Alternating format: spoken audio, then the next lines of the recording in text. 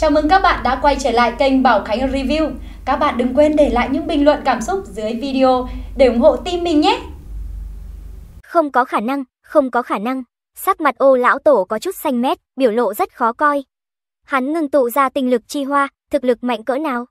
Nhục thân hầu như kim cương bất hoại, thể lực vô hạn, thậm chí cùng lôi đạo, vật lộn, còn chiếm cứ thượng phong tuyệt đối.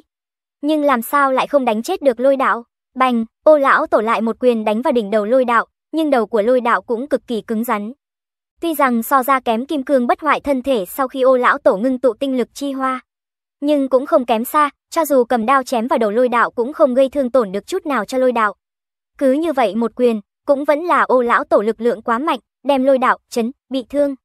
Nhưng chút thương thế này thì tính là gì? Lôi đạo nhất chớp mắt, nguyên khí trên người bành trướng mãnh liệt rồi lại lần nữa khôi phục. Sắc mặt ô lão tổ rất khó coi, đại tông sư ngưng tụ nguyên khí chi hoa, tuy rằng cũng rất mạnh, nhưng hẳn là không mạnh như vậy mới đúng. Hẳn là khí công lôi đạo luyện vô cùng đặc thù. Trên thực tế, ô lão tổ căn bản không biết, nguyên khí chi hoa do lôi đạo ngưng tụ, chính là dung hợp bốn môn khí công của dưỡng sinh công, tam âm công, hồng nhật công cùng với hồng liên tâm kinh. Kiêm bốn ưu điểm của khí công. Hơn nữa, thân thể lôi đạo cũng mạnh đến đáng sợ, dù sao cũng là ngoại công đỉnh phong phi thường hiếm thấy, chỉ kém ô lão tổ một đường mà thôi. Nhất là lôi đạo hiện tại đại chiến với ô lão tổ, lại còn mơ hồ coi ô lão tổ như đá mài đao, không ngừng ma luyện thân thể của hắn, kích thích thân thể của hắn, từng bước một đem thân thể tăng lên tới trạng thái mạnh nhất. Trước đó ô lão tổ dự đoán lôi đạo 10 năm có thể ngưng tụ tinh lực chi hoa. Nhưng trải qua một trận đại chiến như vậy, có sự trợ giúp của ô lão tổ, lôi đạo thậm chí chỉ cần 5 năm, hoặc là thời gian càng ít hơn có thể ngưng tụ ra tinh lực chi hoa. Điều này sao không khiến ô lão tổ phẫn nộ đến phát cuồng? Nhất là, lôi đạo bây giờ lại còn đang mượn ô lão tổ, không ngừng tăng cường thân thể, giống như một khối quặng sắt thiên truy bách luyện, sẽ bị rèn đúc thành tinh cương. Thậm chí chế tạo thành thần binh, ô lão tổ cũng đã loáng thoáng cảm nhận được, thân thể lôi đạo dường như đang ấp ủ cái gì đó. Tinh lực chi hoa, đó vô cùng có khả năng đang ấp ủ tinh lực chi hoa. Một khi lôi đạo ngưng tụ ra tinh lực chi hoa, chỉ sợ ô lão tổ cũng đừng nghĩ tới chuyện chém giết lôi đạo, thậm chí, ngay cả ô lão tổ cũng sẽ gặp nguy hiểm. Nghĩ tới đây, ánh mắt ô lão tổ biến thành màu đỏ. Hắn tựa hồ đã hạ quyết tâm, cho dù lão phu cả đời không ngưng tụ ra nguyên khí chi hoa, hôm nay cũng nhất định phải chém ngươi. Ô lão tổ vốn đã tới gần đại nạn, cho dù ngưng tụ tinh lực chi hoa, nhưng trên thực tế cũng chỉ kéo dài mười mấy năm mà thôi. Cho dù ngày sau ngưng tụ nguyên khí chi hoa, cũng chỉ kéo dài tuổi thọ mười mấy năm. Đối với ô lão tổ đã 120 tuổi mà nói, không có gì không thể buông xuống, ngoại trừ hoàng thất. Từ ngày ô lão tổ luyện võ, liền lập chí lấy thái tổ cự liễu quốc làm mục tiêu, thậm chí còn muốn làm tốt hơn thái tổ. Nhưng con đường võ đạo quá khó khăn, ô lão tổ thậm chí cho đến khi đại nạn tiến đến, mới đi tử vong chi hải mạo hiểm, may mắn ngừng tụ ra tinh lực chi hoa, từ đó thành tựu đại tông sư, trở thành thần thoại võ đạo. Đang lúc hắn chuẩn bị đại triển hoành đồ, thực hiện khát vọng của mình thì lại gặp phải một đối thủ có tiềm lực vô tận như lôi đạo. Tuổi còn trẻ, thậm chí chưa tới 20 đã ngưng tụ ra nguyên khí chi hoa, trở thành đại tông sư, đồng dạng có thể xưng là thần thoại võ đạo. Nếu hôm nay không chém lôi đạo, chỉ cần vài năm sau, lôi đạo ngưng tụ tinh lực chi hoa, ô lão tổ cũng không làm gì được lôi đạo. Đến lúc đó, ô lão tổ còn nói gì chí lớn? Còn nói khát vọng cái gì? Chỉ sợ ngay cả hoàng thất cũng không giữ được. Bởi vậy, ở sâu trong nội tâm ô lão tổ đã hạ quyết tâm, hôm nay coi như trả giá lớn hơn nữa, nhất định phải chém lôi đạo. Âm, um, sau một khắc, trên người ô lão tổ một cỗ tinh khí mênh mông phóng lên tận trời. Tinh khí như trụ, nhưng sau một khắc, tinh khí bắt đầu hừng hực thiêu đốt, giống như mây lửa, tựa hồ cả bầu trời đều theo tinh khí thiêu đốt mà biến thành một mảnh lửa đỏ. Đây là thủ đoạn liều mạng của tông sư. Tinh khí là một loại lực lượng đặc thù do tinh lực và nguyên khí dung hợp lại hình thành, thuộc về bản chất của võ giả. Giữa chân thật và hư ảo, cho dù ngưng tụ ra tinh lực chi hoa, kỳ thật cũng có tinh khí, dù sao, ô lão tổ còn không có ngưng tụ ra nguyên khí chi hoa. Đại tông sư thiêu đốt tinh khí, thật ra giống như tông sư bình thường, đều là đang hủy đi tiền đồ võ đạo của mình. Vốn ô lão tổ tuy rằng đại nạn tới gần, nhưng ngưng tụ tinh lực chi hoa, kéo dài tuổi thọ mười mấy hai mươi năm. Có lẽ, hắn có thể trong khoảng thời gian này, lại ngưng tụ ra nguyên khí chi hoa, đây cũng không phải là không có khả năng. Hơn nữa, đây cũng là dự định ban đầu của ô lão tổ. Chỉ tiếc, hiện tại ô lão tổ đã thiêu đốt tinh khí, hắn không tiếc bất cứ giá nào cũng phải chém giết lôi đạo. Quyết tâm này to lớn như thế, thậm chí lớn đến mức khiến ô lão tổ không tiếc thiêu đốt tinh khí, một khi nguyên khí thiêu đốt hầu như không còn, như vậy ô lão tổ ở trong thời gian mười mấy hai mươi mấy năm, căn bản cũng không có khả năng một lần nữa, dưỡng khí, trên trăm năm, do đó ngưng tụ nguyên khí chi hoa. con đường ngưng tụ nguyên khí chi hoa, bị chính ô lão tổ tự tay cắt đứt. Âm âm, một vị đại tông sư thiêu đốt tinh khí, đó là khủng bố bực nào. Huống chi, ô lão tổ đã ôm quyết tâm tất sát lôi đạo, bởi vậy, hắn cơ hồ không giữ lại bất kỳ cái gì, đem nguyên khí trong cơ thể hơn trăm năm dưỡng ra hết thảy đều thiêu đốt hết. Bởi vậy, cả phiến bầu trời đều bị ấn nhuộm thành màu đỏ như lửa. Hơn nữa, thế lửa còn càng lúc càng lớn, thậm chí đã tràn ngập ở trên tinh lực chi hoa. Tinh lực chi hoa đương nhiên sẽ không thiêu đốt, nhưng tinh khí thiêu đốt lại làm cho tinh lực chi hoa tựa hồ bành trướng thêm vài phần. Mà ô lão tổ cũng cảm nhận được lực lượng trong cơ thể tăng vọt. Loại cảm giác này thực sự quá mạnh mẽ, thậm chí khiến ô lão tổ có một loại cảm giác vô địch khắp thiên hạ, có thể quét ngang tất cả địch nhân. Lôi đạo, đón một quyền của lão phu, sau một khắc, ô lão tổ động thủ, một quyền này chính là một kích mạnh nhất ô lão tổ thiêu đốt tinh khí, tự hủy tiền đồ đánh ra. Một quyền này, ô lão tổ không phải vì làm đá mài đao cho lôi đạo, càng không phải là trợ giúp lôi đạo nhất tí. Một quyền này, ô lão tổ là muốn giết người. Sát khí kinh khủng nương theo quyền kình vô thiên cái địa gào thét lao về phía lôi đạo. Ô lão tổ thiêu đốt tinh khí, lại là một kích mạnh nhất của đại tông sư ngưng tụ tinh lực chi hoa. Mang theo ngọn lửa tinh khí hừng hực thiêu đốt, phảng phất chiến thần giáng lâm, có thể đánh xuyên qua lực lượng khủng bố trên bầu trời.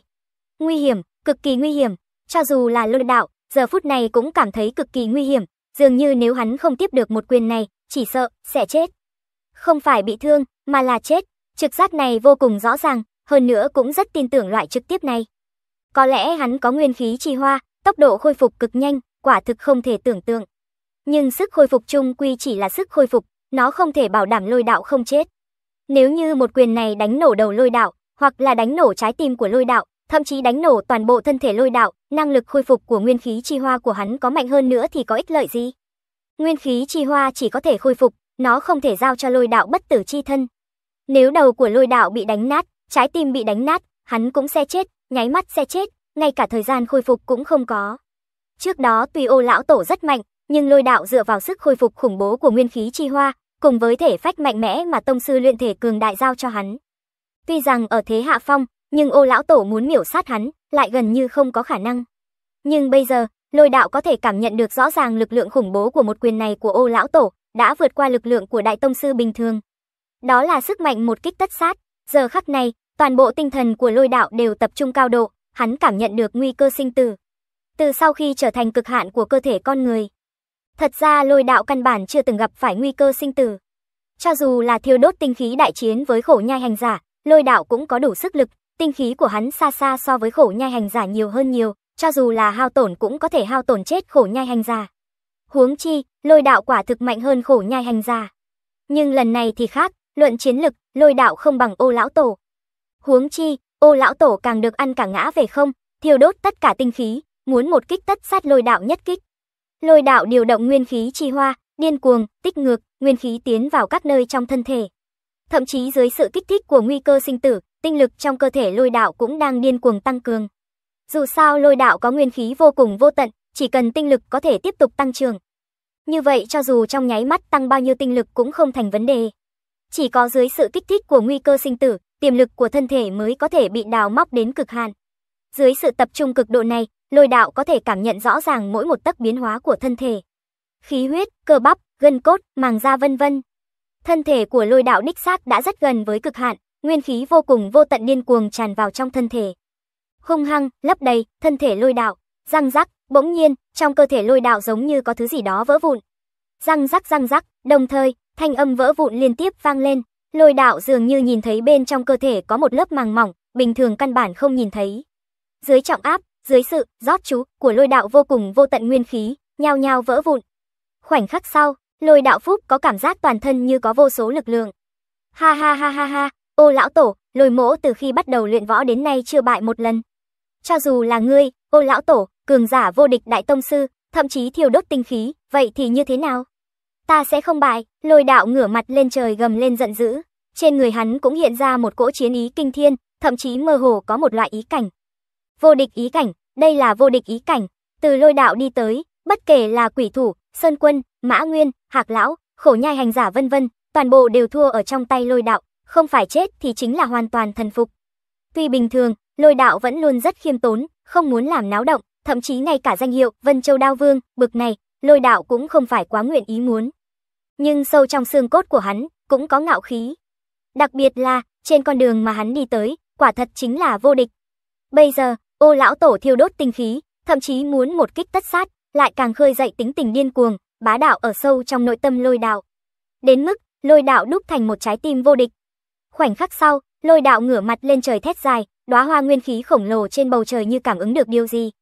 Điên cuồng, giao, vô số nguyên khí, giống như cửu thiên ngân hà chút xuống, âm âm, tinh khí trong cơ thể lôi đạo phóng lên trời, một luồng khí thế bá đạo không gì sánh kịp, giống như vòi rồng, quét sạch cả ngọn lạc nhật. Lập tức, gió cuốn mây tan, trời hiện dị tượng. Bên cạnh nguyên khí trì hoa lại xuất hiện một đóa hoa, một đóa hoa màu đen không ngừng ngưng thực, tản ra khí tức kinh khủng. Tựa như đồng căn đồng nguyên với nguyên khí chi hoa, song song mà xếp vắt ngang trên đỉnh đầu của lôi đào. Tinh, tinh lực chi hoa, tất cả mọi người đều chấn động. Thái thượng trưởng lão Hồng Liên Tông càng ngơ ngác nhìn một màn trong hư không, nàng quả thực không thể tin được vào hai mắt của mình. Nàng nhìn thấy gì? Lôi đạo lại ngưng tụ ra một đóa hoa, nguyên khí chi hoa, tinh lực chi hoa đồng thời xuất hiện. Bá, lôi đạo mở mắt, hoa nở hai đóa, ta vô địch, âm thanh của lôi đạo trầm thấp, lại tựa như sấm sét, quanh quẩn bên tai mọi người lạc nhật phong, chấn động tâm linh. Lôi đạo ngưng tụ ra đóa tinh lực chi hoa thứ hai, lực lượng vô cùng vô tận từ trong cơ thể không ngừng tuôn ra, khiến lôi đạo có một loại cảm giác giống như có thể quét ngang tất cả địch nhân. Nhưng mà, một kích thiêu đốt tinh khí của ô lão tổ đã đến trước mặt lôi đạo. Mặc dù ô lão tổ cũng rất khiếp sợ, hắn tuyệt đối không thể tưởng tượng được, lôi đạo lại nhanh như vậy đã ngưng tụ ra tinh lực chi hoa, điều này sao có thể? Chỉ là, ô lão tổ đã động thủ, hắn đã thiêu đốt tinh khí, không có đường lui, cũng không có thỏa hiệp, hắn chỉ có thể cố gắng hết sức, triệt để chém giết lôi đạo. Lôi đạo ngẩng đầu, hắn thấy được một quyền kia của ô lão tổ. Thậm chí, dưới một quyền này, lôi đạo cảm nhận được nguy cơ sinh tử, mới kích phát ra tất cả tiềm lực của thân thể hắn. Dùng vô tận nguyên khí rót vào, cuối cùng ngưng tụ ra tinh lực chi hoa. Lôi đạo chỉ nhẹ nhàng khoát tay, tựa hồ không chút để ý tiện tay đánh ra một quyền. Âm, một quyền nhìn như không chút để ý này, lại phảng phất có thể đánh nổ hư không, phát ra một trận âm thanh nổ chói tai, thậm chí còn có kình lực vô hình khuếch tán ra bốn phương tám hướng. Lôi đạo đã đánh ra kình lực vô hình, đây là một loại hiện tượng, sóng khí, khi sức mạnh đạt đến một loại cực hạn. Răng rắc, một quyền này, ô lão tổ phảng phất như bị một ngọn núi khổng lồ đè xuống, trong nháy mắt nắm đấm của hắn đã gãy xương. Thậm chí, lực lượng kinh khủng trên nắm đấm của lôi đạo còn thuận theo bàn tay của hắn, kéo dài vào trong cánh tay. Không, ô lão tổ nổi giận gầm lên một tiếng. Hắn muốn thiêu đốt càng nhiều tinh khí hơn. Hắn không thể thất bại, tuyệt đối không thể thất bại. Một khi thất bại, hắn và hoàng thất, thậm chí đều sẽ lâm vào vạn kiếp bất phục. Đến lúc đó, hắn chính là tội nhân của hoàng thất, cho dù chết, ô lão tổ cũng chết không nhắm mắt. Bành, hai chân ô lão tổ đạp mạnh xuống đất, mặt đất lập tức xuất hiện một cái hố to. Hai chân ô lão tổ lún vào trong hố to, thậm chí nửa thân thể đều đến dưới mặt đất, lúc này mới miễn cưỡng hóa giải lực lượng lôi đạo, ổn định thân thể. Lốp bốp, ô lão tổ nhảy xuống từ trong hố to, nhảy ra. Trong cơ thể vang lên một trận thanh âm đùng đùng, dù là không có khôi phục nguyên khí, nhưng lấy thân thể kim cương bất hoại của ô lão tổ, chút thương thế này căn bản cũng không tính là gì, trong chớp mắt là có thể khôi phục. Chỉ là, sắc mặt ô lão tổ rất khó coi, hắn thất bại, cho dù là một kích thiêu đốt nguyên khí cũng thất bại, thậm chí còn bị lôi đạo một quyền đánh lui. Nhìn nguyên khí chi hoa và tinh lực chi hoa trên đỉnh đầu lôi đạo, trong lòng ô lão tổ càng chìm xuống đáy cốc. Lôi đạo, lão phu không giết được ngươi, sau này, ngươi chính là Vân Châu Đao Vương chân chính. Thậm chí, toàn bộ Vân Châu đều là ngươi định đoạt.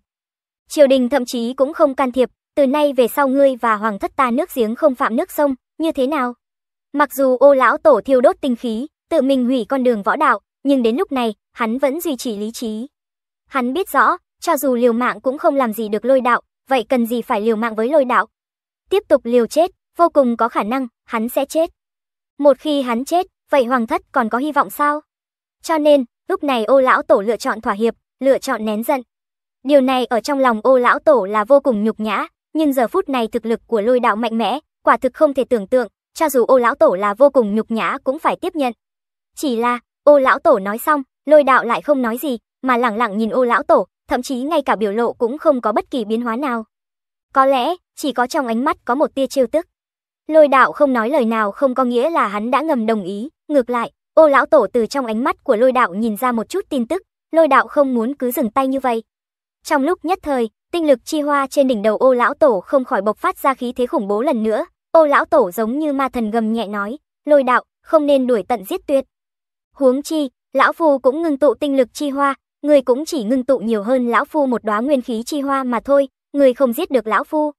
Một khi lão phu không chết, cho dù ngươi tiêu diệt hoàng thất thì đã sao? Người nhà lôi ra bảo ngươi chỉ sợ cũng không sống được. Thậm chí ô lão tổ còn lấy lôi ra bảo ra uy hiếp, đủ thấy bây giờ hắn kiêng kỵ lôi đạo tới mức nào. Ngay cả thiêu đốt tinh khí, lấy mạng đổi mạng cũng không làm gì được lôi đạo, ô lão tổ lại có thể thế nào? Hắn hiện tại chỉ muốn có thể bảo toàn hoàng thất liền hài lòng. Lôi đạo lẳng lặng nhìn ô lão tổ, hiện tại ô lão tổ lộ ra vẻ chật vật, thậm chí thần sắc đã mơ hồ có chút dữ tợn, giống như một con bạc thua đỏ mắt. Ô lão tổ, ngươi nói đúng, giữa ngươi và ta chỉ là tranh lệch một đóa nguyên khí chi hoa mà thôi. Chỉ là, ngươi nói lôi mỗ không giết được ngươi, ta không tin. Giọng điệu bình tĩnh của lôi đạo lại khiến trong lòng ô lão tổ phát lạnh. Cùng lúc đó, lôi đạo cũng động thủ, vù, không có nhiều lời vô nghĩa với ô lão tổ, lôi đạo trực tiếp động thủ. Thân hình hắn vọt đi, như một cơn gió, trong chớp mắt đã đến trước mặt ô lão tổ. Lôi đạo không thi triển bất kỳ thân pháp nào, thậm chí, lôi đạo căn bản cũng không có luyện qua bất kỳ thân pháp nào.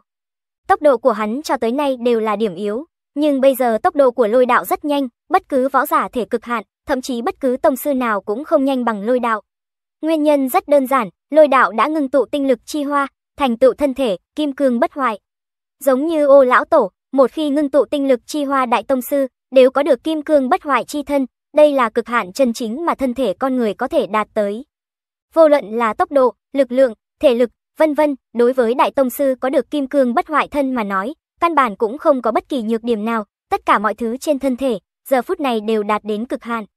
Không có bất kỳ khuyết điểm rõ ràng nào của đại tông sư, đó là khủng bố cỡ nào. Nói là như thần như ma cũng không quá đáng, đây mới là thần thoại võ đạo chân chính, ngay khi ngưng tụ ra tinh lực chi hoa, hắn mới chính thức hiểu được vì sao đại tông sư có thể được xưng là thần thoại võ đạo. Cái loại hoàn toàn không có bất kỳ khuyết điểm nào, cả người tràn đầy lực lượng, tinh lực vô cùng vô tận, thể lực vô cùng vô tận, loại cảm giác này thật sự là quá mỹ diệu. Hơn nữa, sau khi hắn ngừng tụ ra tinh lực chi hoa, lôi đạo còn phát hiện tinh lực chi hoa và nguyên khí chi hoa mơ hồ hỗ trợ lẫn nhau. Nguyên khí chi hoa thậm chí có thể đem vô tận nguyên khí rót ngược vào tinh lực chi hoa, trong nháy mắt để lực lượng lôi đạo bộc phát gấp mấy lần. Đây quả thực so với thiêu đốt tinh khí còn kinh khủng hơn. Hơn nữa, nguyên khí chi hoa vô cùng vô tận, căn bản cũng không sợ hao tổn. Nói cách khác, lôi đạo hiện tại bộc phát lực lượng gấp mấy lần bản thân, hoàn toàn chính là thủ đoạn thông thường mà thôi. Lôi đạo, ngươi không giết chết được lão phu đâu. Trong nháy mắt, lôi đạo đã đến trước mặt ô lão tổ, sắc mặt ô lão tổ dữ tợn, nổi giận gầm lên một tiếng, hắn điều động tinh lực chi hoa, lực lượng trong cơ thể liên tục không ngừng tuôn ra, một quyền liền đập tới hướng lôi đạo. Lôi đạo cũng không thèm nhìn nắm đấm của ô lão tổ. Tâm niệm hắn vừa động, nguyên khí chi hoa khẽ rung động, sau đó nguyên khí rót vào tinh lực chi hoa. Cùng lúc đó, lôi đạo cảm giác được lực lượng toàn thân tăng vọt mấy lần. Sau đó lôi đạo vung ra một quyền tăng vọt gấp mấy lần lực lượng, trực tiếp nện vào trên nắm tay của ô lão tổ, hai cỗ lực lượng mạnh mẽ lại một lần nữa cứng đối cứng. Bành, sóng khí kình ba vô hình khuếch tán ra bốn phương tám hướng, mặt đất nơi hai người đứng cũng đều dạn nứt trong nháy mắt, thậm chí bốn phía còn có lít nha lít nhít vết dàn Kéo dài ra ngoài hơn trăm trường, đủ thấy lực lượng của hai người mạnh đến mức nào, nhưng sau một khắc, trên mặt Ô lão tổ lại lộ ra vẻ thống khổ, nắm đấm cùng với cánh tay của hắn, phảng phất như bị lực lượng mạnh mẽ thoáng cái, áp cong, trực tiếp bị bẻ cong. Với thân thể khủng bố của kim cương bất hoại thân của Ô lão tổ, dường như cũng không chịu nổi, đủ thấy lực lượng lôi đạo mạnh bao nhiêu. Nhưng chuyện này cũng chưa kết thúc, lôi đạo nhất nhảy về phía trước, hai tay bắt lấy cánh tay Ô lão tổ, lập tức giống như nâng một tảng đá lớn, mạnh mẽ ngã xuống.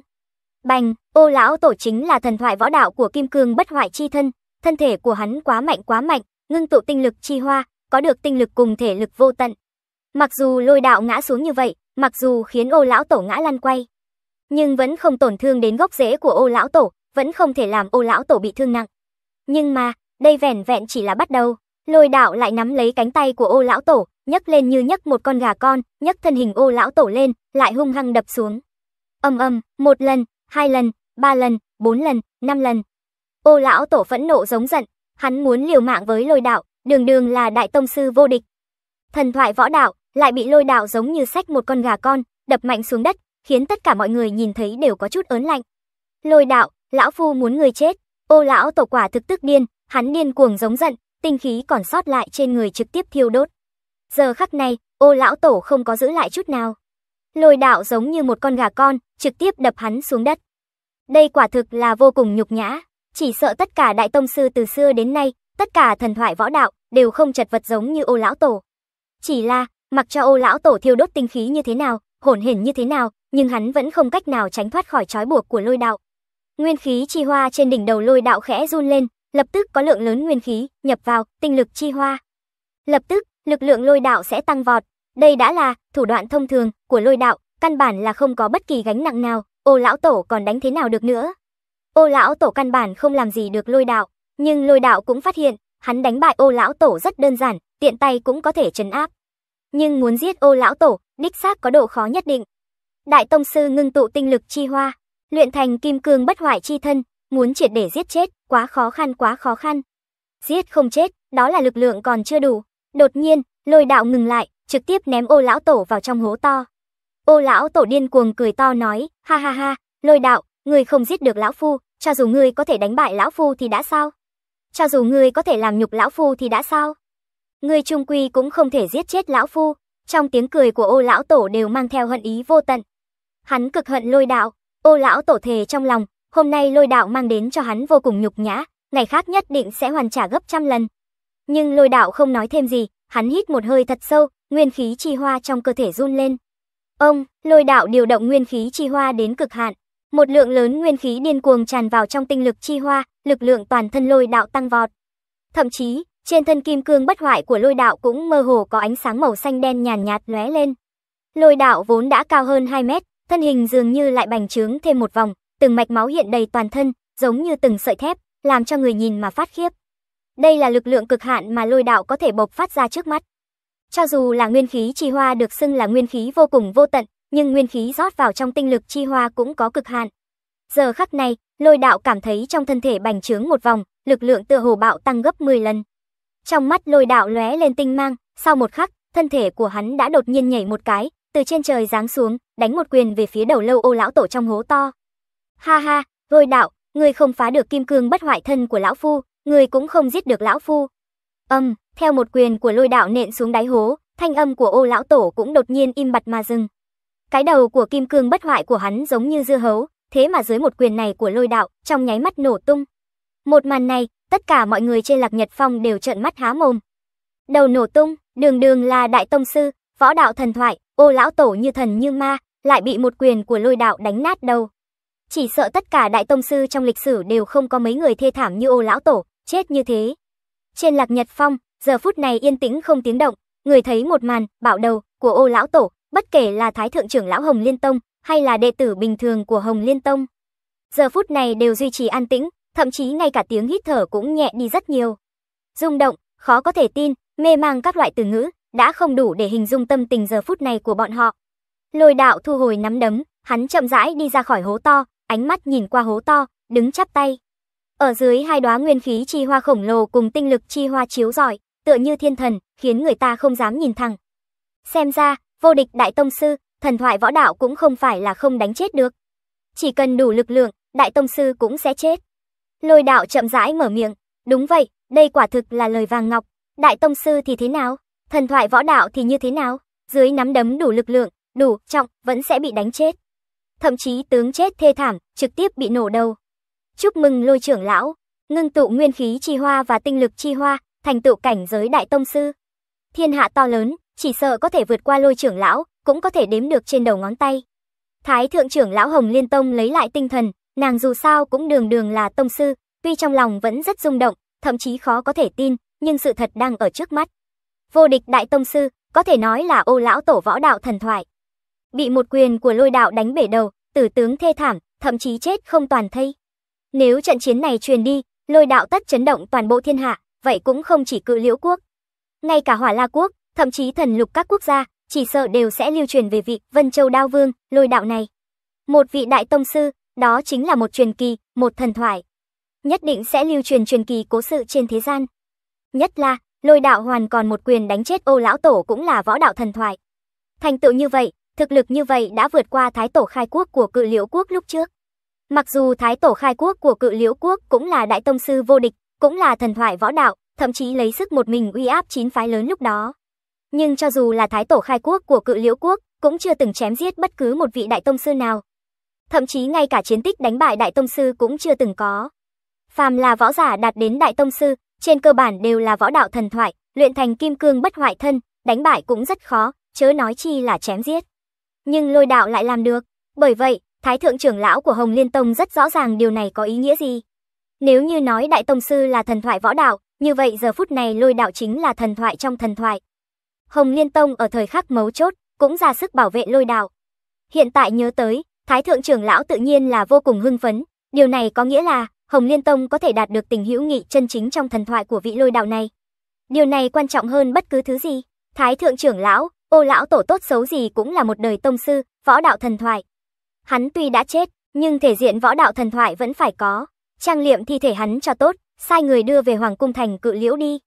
Lôi đạo từ tốn nói, hắn đối với ô lão tổ không có hận ý gì, vị trí hai bên khác biệt, lập trường khác biệt, tự nhiên có lựa chọn cùng cách làm khác biệt.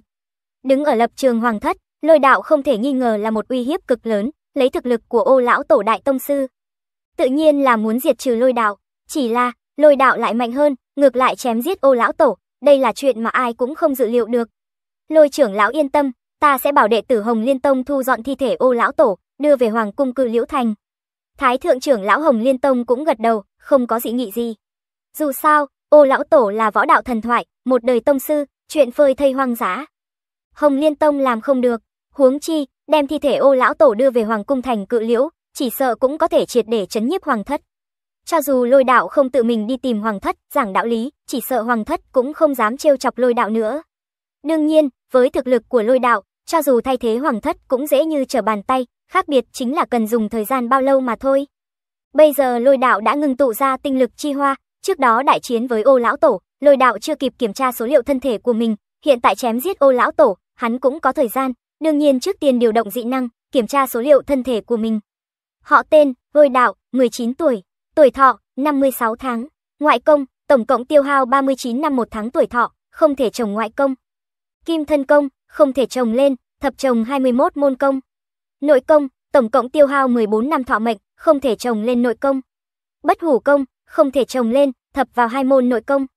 Khí công, tổng cộng tiêu hao 63 năm tuổi thọ, không thể trồng khí công. Tiên nguyên công, không thể trồng lên, thập lên 4 môn khí công. Quả nhiên, lôi đạo nhìn thấy tuổi thọ của hắn bây giờ biến thành 56 năm một tháng. Trước đó vẻn vẹn chỉ có 41 năm một tháng, nói rõ lôi đạo ngưng tụ ra tinh lực chi hoa, quả thực lại kéo dài 15 năm. Không có bao nhiêu khác biệt so với suy đoán của lôi đạo lúc trước. Hơn nữa, sau khi ngưng tụ ra kim thân công, bất luận là kim thân công hay bất hủ công, bất luận là ngoại công hay là nội công, tất cả đều không thể trồng chất thêm nữa. Điều này nói rõ, thân thể lôi đạo quả thực đã đến cực hạn.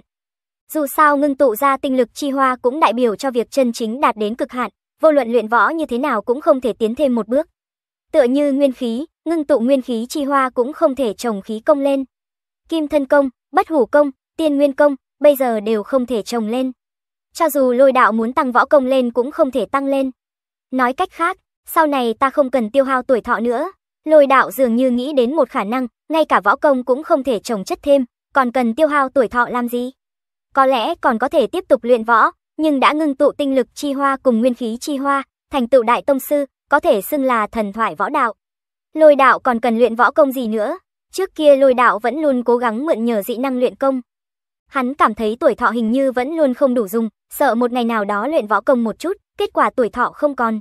Đến lúc đó, cho dù vô địch thiên hạ, chỉ sợ cũng là bi kịch. Hiện tại, lôi đạo nhìn thấy trên dị năng, bất luận là kim thân công hay bất hủ công, hoặc là tiên nguyên công, đều không thể trồng chất thêm. Cũng chính là lôi đạo muốn tiêu hao tuổi thọ cũng không tiêu hao được. Gặp phải loại tình huống này, vốn lôi đạo hẳn là rất cao hứng, rất hưng phấn, đây không phải là cuộc sống hắn cho tới nay đều tha thiết ước mơ sao. Nhưng chẳng biết tại sao, trong lòng lôi đạo lại có một cỗ yêu thương nhàn nhạt, nhạt. Hoặc là nói, toàn thân trên dưới đều không thoải mái, trong lòng trống rỗng, giống như mất đi thứ gì đó quan trọng.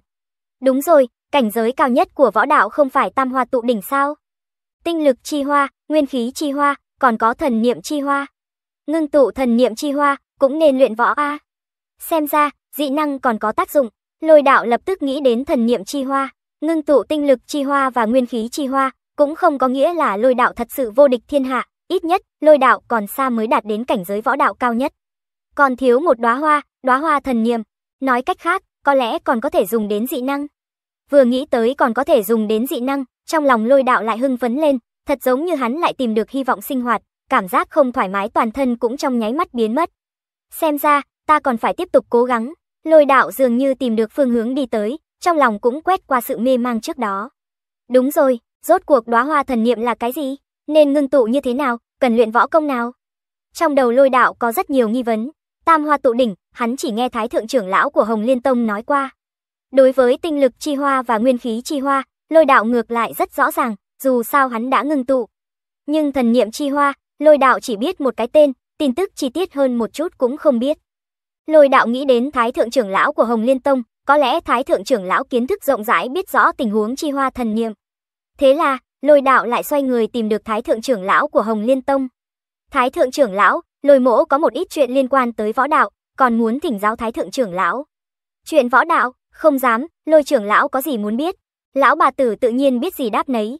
Lôi đạo gật đầu, thế là hai người trực tiếp trở về mật thất nói chuyện.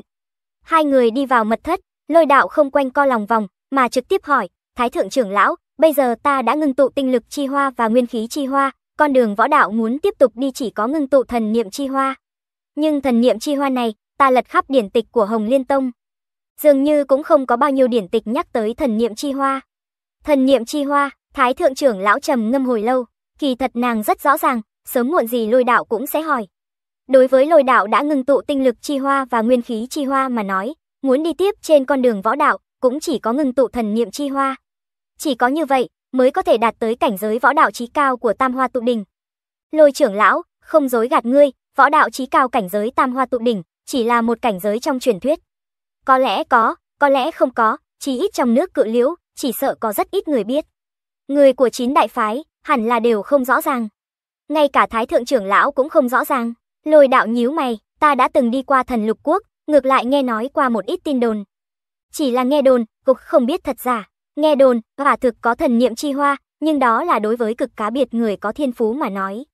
Đối với người không có thiên phú mà nói, một khi ngưng tụ tinh lực chi hoa cùng nguyên khí chi hoa, như vậy con đường võ đạo cũng cơ hồ đi tới cuối cùng. Có ý gì? Con đường võ đạo đã đến cuối rồi. Trong lòng lôi đạo chấn động, nhưng đồng thời cũng tràn ngập nghi vấn. Thái thượng trưởng lão Hồng Liên Tông cũng bất đắc dĩ lắc đầu nói, ta cũng không biết chuyện gì xảy ra, căn cứ theo suy đoán của ta, có lẽ muốn ngưng tụ thần niệm chi hoa, cần phải có thiên phú đặc thù nào đó. Không có loại thiên phú này, thì không cách nào ngưng tụ thần niệm chi hoa. Bởi vậy, đối với phần lớn mọi người, thậm chí đối với rất nhiều tông sư ngưng tụ tinh lực chi hoa cùng nguyên khí chi hoa mà nói. Võ đạo sau khi trở thành đại tông sư, cũng đã đi tới cuối cùng, phía trước, đã không còn đường. Trong lòng lôi đạo dâng lên sóng to gió lớn, trong ánh mắt tràn đầy vẻ khó tin. Hắn không tin, ngưng tụ tinh lực chi hoa và nguyên khí chi hoa, võ đạo đã đến cuối con đường. Huống chi, cho dù không có đường, lôi đạo dựa vào cố gắng, cũng có thể tự mình đi đường ra. Đi ra một con đường lớn thông thiên, lôi đạo không quá thất vọng, mặc dù ngay cả thái thượng trưởng lão của Hồng Liên Tông cũng không biết cụ thể là thần niệm chi hoa xảy ra chuyện gì.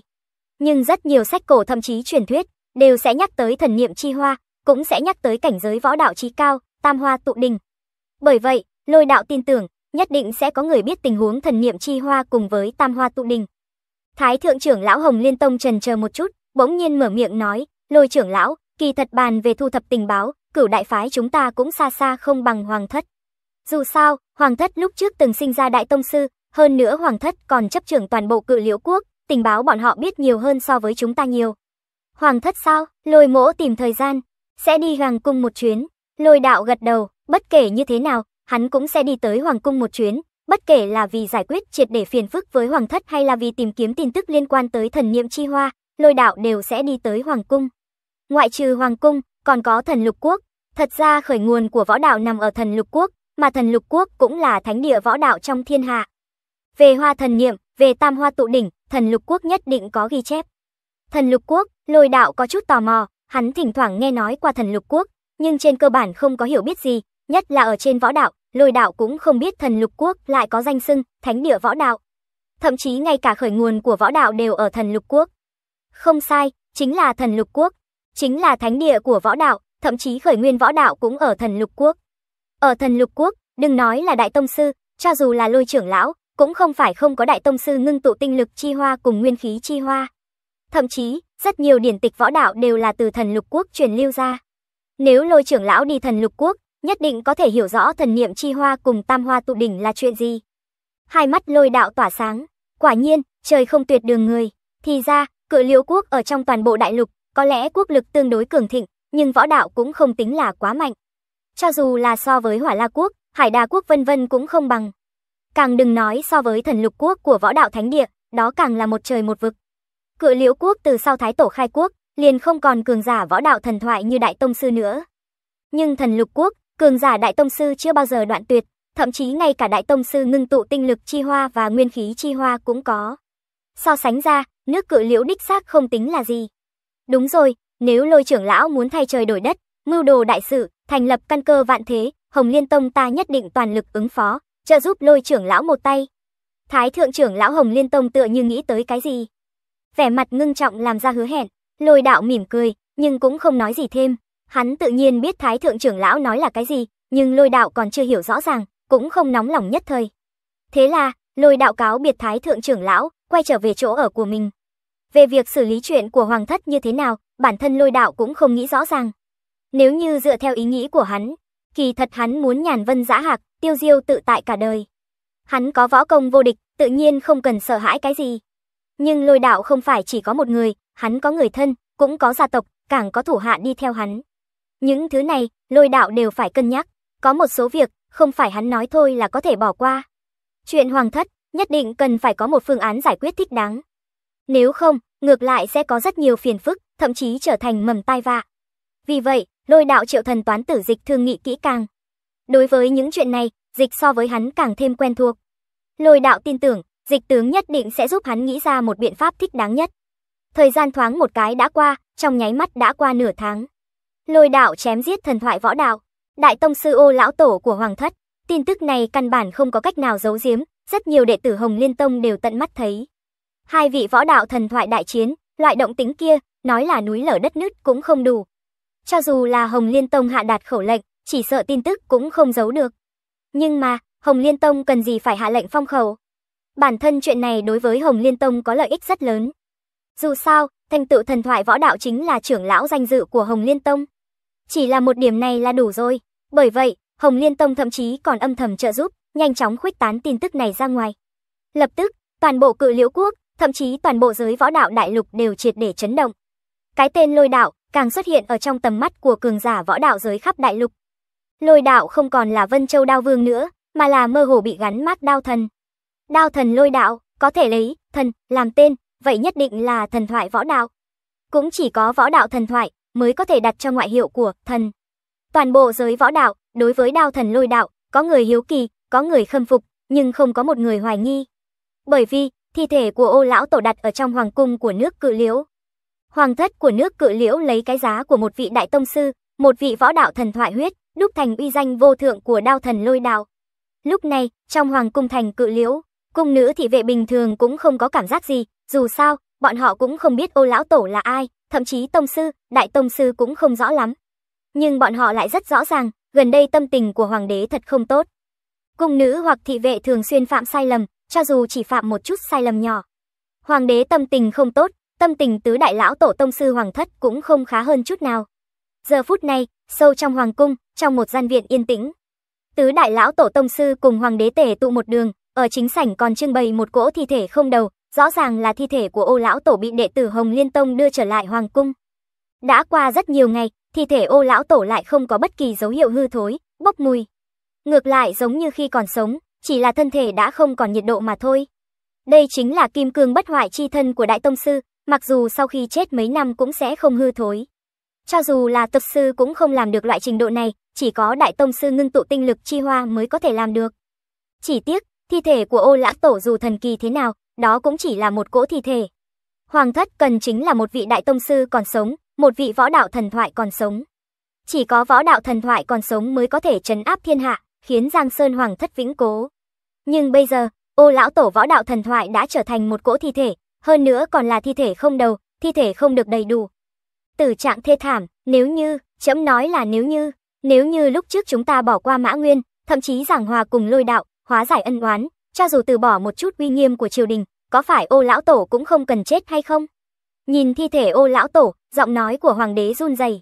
Hắn thật sự là hối hận, vô cùng hối hận, sớm biết như thế, cần gì lúc trước, ngu xuẩn, Hạc lão cười lạnh một tiếng, lạnh lùng nhìn chằm chằm hoàng đế nói, lúc trước thái tổ định đỉnh thiên hạ, thành lập cự liễu quốc, đó là uy phong cỡ nào? Hoàng thất nếu thống trị cự liễu quốc, vậy dĩ nhiên sẽ bóp chết tất cả nguy hiểm từ trong trứng nước. Mặc dù chúng ta từ bỏ uy nghiêm của hoàng thất, giảng hòa với lôi đạo, ngươi cho rằng ngươi có thể ngồi vững trên long ỷ sao? Thật sự là ngây thơ. Thiên lão cũng gật đầu nói, đúng vậy, hoàng đế, việc đã đến nước này, cho dù có hối hận cũng vô dụng. Huống chi, cho dù ô lão tổ không chết, cự liễu quốc sinh ra một vị đại tông sư, chúng ta há có thể an tâm. Thời giã, mạng cũng vậy, hiện tại nên nghĩ biện pháp bổ cứu, mà không phải ở chỗ này oán trời trách đất. Tứ đại tông sư kỳ thật rất rõ ràng, lần này nguy cơ của hoàng thất rất nghiêm trọng. Nghiêm trọng đến mức thậm chí có thể lật đổ thiên hạ của hoàng thất. Phân lượng của tông sư đã nặng như vậy, huống chi là một vị võ đạo thần thoại, một vị đại tông sư vô địch. Đúng, chúng ta nên nghĩ biện pháp bổ cứu. Tuy lão tổ đã chết, nhưng hoàng thất chúng ta còn có mấy chục vạn binh sĩ tinh nhuệ, chúng ta còn có vô số thần dân ủng hộ, chúng ta còn có hy vọng. Ánh mắt hoàng đế đều mang theo tơ máu, nghiến răng nghiến lợi nói, vô dụng, mấy thứ này ở trước mặt một vị võ đạo thần thoại, không có bất cứ tác dụng gì.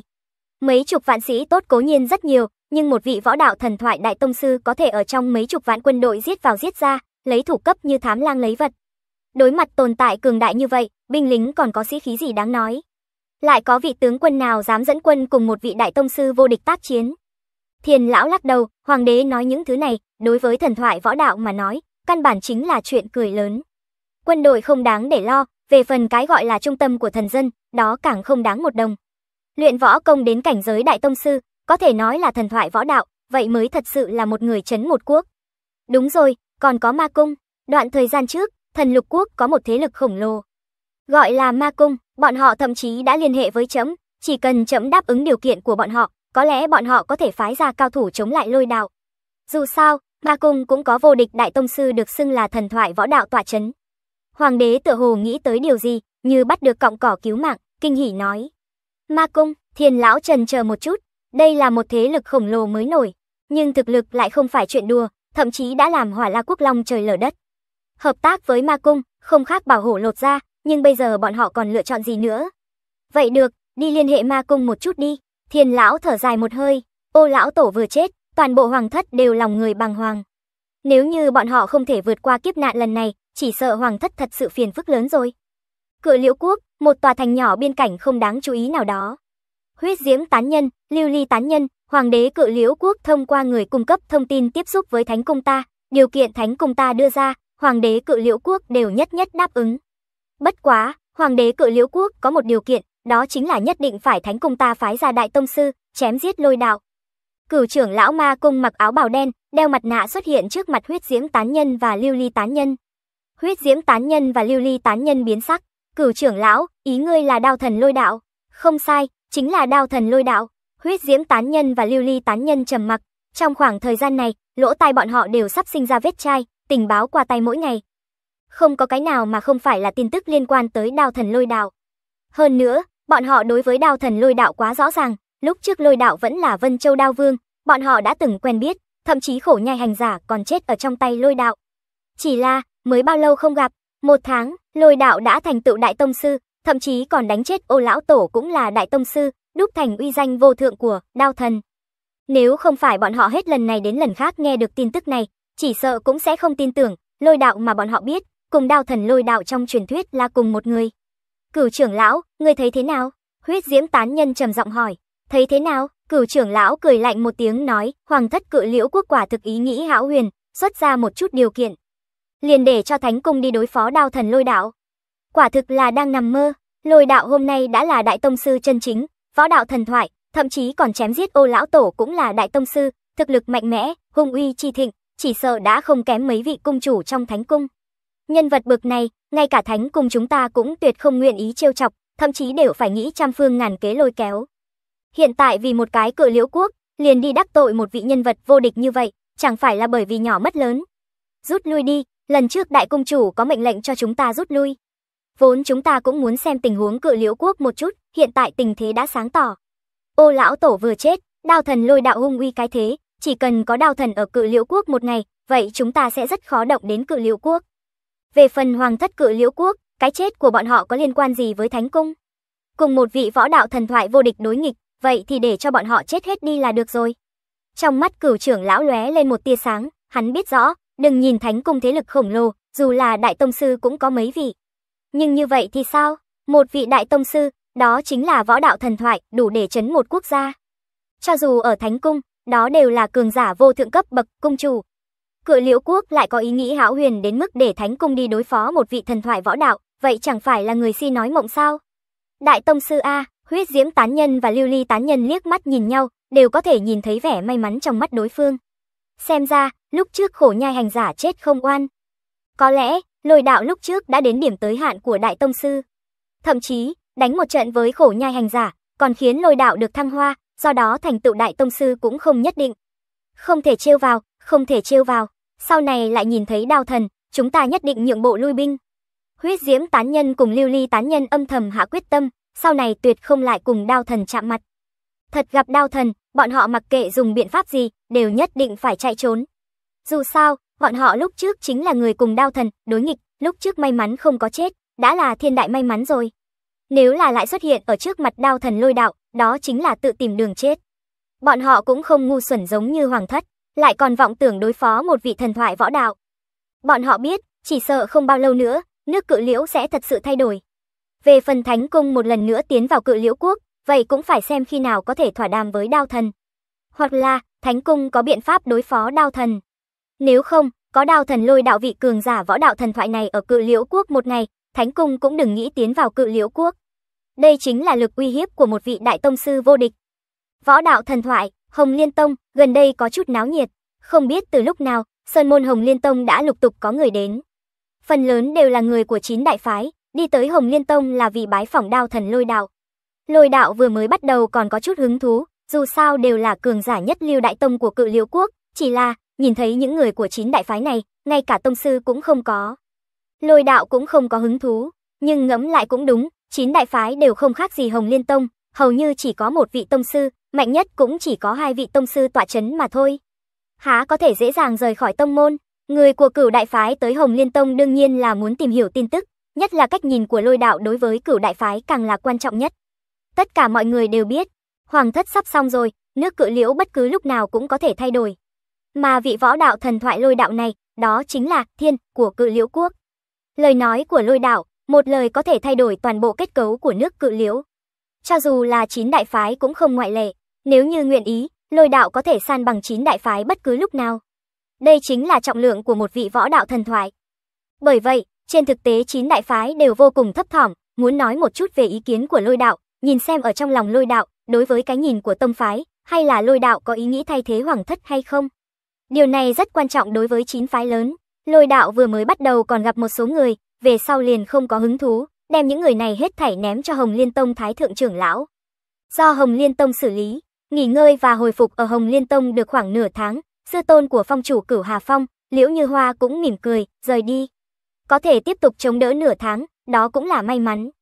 Đại nạn tiến đến, đừng nói là cực hạn của thân thể, cho dù là tông sư thậm chí đại tông sư cũng không thể làm gì, chỉ có thể nghe theo mệnh trời. Cũng may trước khi phong chủ cửu Hà Phong qua đời, tận mắt chứng kiến Hồng Liên Tông quật khởi, có một vị thần thoại võ đạo như lôi đạo, Hồng Liên Tông lại còn có thể có nguy hiểm gì. Bởi vậy, phong chủ cửu Hà Phong đi rất an tường. Phong chủ cửu Hà Phong qua đời, lôi đạo liền ngồi không yên, hắn cũng không muốn vẫn luôn ở trong Hồng Liên Tông. Tuy Hồng Liên Tông đều là nữ đệ tử, nhưng những nữ đệ tử này, mỗi một người so với lôi đạo thoạt nhìn còn muốn, khôi ngô, biêu hán. Lôi đạo thật sự là vô phúc tiêu thụ, thế là, lôi đạo mang theo mẫu thân, dịch tướng, chuẩn bị cáo từ tông chủ Hồng Liên Tông và Thái Thượng trưởng lão. Lôi trưởng lão muốn đi, trong đại sảnh Lạc Nhật Phong, vẻ mặt tông chủ Hồng Liên Tông giật mình. Trong khoảng thời gian này, những nhất lưu đại phái của cự liễu quốc, có một người, đều đi tới Hồng Liên Tông, toàn bộ đều do tông chủ tiếp đái. Hơn nữa mỗi người đều biểu hiện rất khách khí, thậm chí thái độ cũng có chút cung kính quá mức. Rất là để cho tông chủ hưởng thụ một phen cảm giác vạn tông triều bái. Nhưng mà, đầu óc của tông chủ Hồng Liên Tông lại rất tỉnh táo. Nàng hiểu được, những người này vì sao cung kính với nàng như thế, cũng không phải bởi vì Hồng Liên Tông cường đại đến cỡ nào, mà là bởi vì có đao thần lôi đạo tồn tại. Một vị thần thoại võ đạo chân chính. Bởi vậy, nghe thấy lôi đạo muốn đi, tông chủ tự nhiên lộ ra rất lo lắng. Nhưng Thái Thượng trưởng lão lại mỉm cười, tựa hồ cũng không quá sốt ruột. Hoặc là nói, Thái Thượng trưởng lão đã sớm đoán trước. Lôi trưởng lão là trưởng lão danh dự của Hồng Liên Tông ta, tự nhiên có thể rời khỏi bất cứ lúc nào. Nhưng, bên cạnh lôi trưởng lão cũng thiếu một số người sai khiến hầu hạ. Lão bà tử vì lôi trưởng lão đặc biệt tìm ba vị đệ tử, hy vọng có thể đi theo bên cạnh lôi trưởng lão hầu hạ, lôi trưởng lão cũng không nên cự tuyệt. Tiếng nói vừa dứt, từ ngoài đại sảnh đi vào ba nữ đệ tử. Lôi đạo liếc mắt nhìn, sắc mặt không thay đổi. Ừ, đúng là nữ đệ tử. Chỉ là, thái thượng trưởng lão dùng từ có phải hay không có chút để cho người ta hiểu lầm, cái gì là hầu hạ. Liền ba nữ đệ tử này, lôi đạo liếc mắt liền nhìn ra, hết thảy đều là ngoại công đỉnh phong, thậm chí cách cực hạn thân thể cũng không xa, rõ ràng đều là đệ tử tinh anh nhất của Hồng Liên Tông. Ý tứ của Hồng Liên Tông đã hiểu rõ, chính là để những đệ tử tinh anh thiên tài này đi theo bên người lôi đạo, hy vọng lôi đạo có thể ngẫu nhiên chỉ điểm một hai, nói không chừng có thể giúp các nàng thành tựu cực hạn thân thể con người. Thậm chí tương lai tông sư đều có hy vọng, nếu như là ba nữ đệ tử xinh đẹp, lôi đạo cũng không để ý để ở bên cạnh đi theo. Nhưng ba nữ đệ tử này, mỗi người đều có cánh tay còn to hơn đùi lôi đạo, eo lưng như thùng nước, để cho các nàng tới hầu hạ. Hình ảnh kia quá đẹp, lôi đạo không dám nghĩ, nhưng cuối cùng lôi đạo vẫn đồng ý để ba nữ đệ tử này đi theo, thái thượng trưởng lão của Hồng Liên Tông quá nhiệt tình. Thậm chí ba nữ đệ tử kia cũng quá nhiệt tình, lôi đạo cũng không tiện từ chối. Vì vậy, lôi đạo liền dẫn theo dịch tướng, mẫu thân, cùng với ba nữ đệ tử, hầu hạ, bên người này, quay về lôi ra bảo. Dọc theo đường đi, lôi đạo nhàn nhã, cũng không gặp phải phiền toái gì. Ba nữ đệ tử Hồng Liên Tông cũng có chỗ tốt, mang theo các nàng bên người, quả thực ít đi rất nhiều phiền phức. Nếu như mang theo ba thị nữ xinh đẹp, nói không chừng sẽ có một chút phiền toái không cần thiết, ví dụ như hoa hoa công tử đùa giỡn, ác bá cướp người vân vân. Nhưng mang theo ba nữ đệ tử Hồng Liên Tông này, vậy hoàn toàn không có những chuyện hư hỏng này. dáng người ba nữ đệ tử này là khôi ngô như thế, khí thế là biêu hãn như thế. Các nàng đứng ở phía sau lôi đạo, từng người cao lớn vạm vỡ, cánh tay so với đùi còn thô hơn, đùi. Ách, có thể so với voi. Có ba nữ đệ tử biêu hãn như vậy ở bên người, vậy đơn giản chính là phiền phức cách biệt thể, ai sẽ đi tìm đám người lôi đạo gây phiền phức. Bởi vậy, trên đường đi lôi đạo ngay cả hứng thú thưởng thức cũng không có. Chuyện này không ai tới gây sự, thậm chí không có chút vui vẻ nào, hắn cũng dứt khoát nhanh chóng lên đường, trở về lôi gia bảo. Lôi gia bảo, mọi chuyện vẫn như thường. Thậm chí trong nửa tháng lôi đạo rời đi, trong thời gian gần 2 tháng này, lôi gia bảo phát triển còn rất nhanh. Đại tướng quân vẫn có chút thủ đoạn, không ngờ lại chỉnh hợp tá điền của lôi gia bảo và một vài tiêu sư của phủ vân tiêu cục, bắt đầu huấn luyện. Tuy thời gian còn ngắn, nhưng cũng ra dáng, không hề thua kém một ít quân đội bình thường của cự liễu quốc. Lôi đạo rất hài lòng, hắn vừa về đã triệu tập đám người đại tướng quân. Đại ca, nhị ca cùng với Khánh Nguyên lão đạo, chuẩn bị chế định một phương án chi tiết. Sau này mọi người trong lôi gia bảo đi đâu về đâu, đều phải có một phương hướng. Lôi đạo cũng phải cho những người này một chỗ an trí thích đáng. Nếu không, cho dù hắn là đại tông sư, là thần thoại võ đạo thì như thế nào? Không thể an trí thích đáng những người này, bọn họ dựa vào cái gì đi theo lôi đạo? Cho dù là thái tổ khai quốc của cự liễu quốc, cường giả dưới trướng nhiều như mây, cường giả tông sư cũng có mấy vị, cực hạn của thân thể càng nhiều vô số kể. Lẽ nào những người này đều là vì thân phận thái tổ đại tông sư mà đi nương tựa sao? Vậy thì không hẳn là vậy, đó là bởi vì, lúc trước thái tổ cự liễu quốc có giá tâm thành lập căn cơ vạn thế, cho nên mới có nhiều cường giả như vậy đầu nhập vào. Hiện tại lôi đạo cũng giống như vậy, tuy hắn đã thành tựu đại tông sư, thủ hạ cũng hội tụ một ít dị sĩ tài ba. Nhưng rốt cuộc có thể tận dụng hết tác dụng của nó hay không, an trí bọn họ thích đáng, còn phải xem con đường sau này của lôi đạo như thế nào. Đây là mấu chốt, bởi vậy, phàm là người tham gia đại hội lần này đều vô cùng coi trọng. Dù sao, đây cũng có thể là khởi đầu đại nghiệp của lôi gia bảo. Chư vị nói một chút đi, con đường sau này của chúng ta nên đi như thế nào? Lôi đạo liếc nhìn tất cả mọi người ở đây, cha mẹ, đại ca, nhị ca, đều là người thân của lôi đạo, tạm thời không nói đến. Bất luận lôi đạo có đưa ra quyết định gì, bọn họ đều sẽ ủng hộ. Nhưng còn có đại tướng quân, Khánh Nguyên lão đạo, dịch tướng, Sơn quân, Lâm Uy, còn có một số người của Phù Vân tiêu cục, bây giờ đều đã đến. Bọn họ thuộc về thủ hạ của lôi đạo, ở sâu trong nội tâm, tự nhiên là có một chút chờ đợi. Sau khi lôi đạo mở miệng, những người này liền không kiềm chế được nội tâm kích động, bắt đầu nhao nhao đưa ra đề nghị của bọn họ. Có hy vọng có thể trực tiếp giết vào thành cự liễu, đuổi tận giết tuyệt hoàng thất, thay đổi triều đại. Có vài người lại cảm thấy không phải ổn thỏa như vậy, mặc dù có vị võ đạo thần thoại lôi đạo này. Võ lực vô địch, nhưng còn thiếu quân đội, thiếu sự ủng hộ của cường hào ổn định thế cục. Những thứ này đều cần thời gian, tạm thời cần nhẫn nại, từ từ tích xúc lực lượng. Cho dù lúc trước Thái Tổ thành lập nước cự liễu, vậy cũng hao phí ước chừng mấy năm. Đối với đề nghị của những người này, lôi đạo từ chối cho ý kiến. Hắn không nói gì, càng không đưa ra quyết định, hắn vẫn đang đợi, lôi đạo thưởng thức nhất chính là dịch tướng. Trên thực tế, những người khác cũng đều đang chờ dịch tướng mở miệng. Dù sao dịch tương chính là thần toán tử, đối với phương diện này là quen thuộc nhất. Dịch tương cũng không để lôi đạo thất vọng, hắn suy tính ước chừng hơn nửa tháng, cũng sớm đã có kế hoạch thành thục. Kế hoạch của dịch tướng rất đơn giản, hắn đề nghị đại tướng quân trước tiên liên hệ một bộ phận tướng lĩnh trong quân. Tuyên dương chuyện lôi đạo trở thành đại tông sư, thậm chí chém giết ô lão tổ ra ngoài, tạm thời kéo theo một bộ phận quân đội. Sau đó, đại tướng quân dẫn đầu, dùng danh nghĩa thanh quân chắc cùng lôi đạo tiến vào thành cự liễu. Lôi đạo ra tay giải quyết tông sư của tứ đại hoàng thất, bắt hoàng đế, lại nâng đỡ một vị hoàng tử trong hoàng thất trở thành hoàng đế, trên thực tế chính là con rối. Lôi đạo tọa chấn ở thành cự liễu, vậy sẽ không xảy ra nhiễu loạn gì. Sau đó lại chậm rãi khống chế triều cục, khống chế địa phương. Đợi đến thời cơ thích hợp, bất luận là phế khôi lỗi của hoàng thất, hay là lôi đạo trực tiếp xưng đế, đó đều là nước chảy thành sông, vô cùng dễ dàng. Đến lúc đó cũng sẽ không gây nên hỗn loạn ở địa phương, càng tránh cho tiêu hao thời gian dài. Đây là biện pháp ổn thỏa nhất.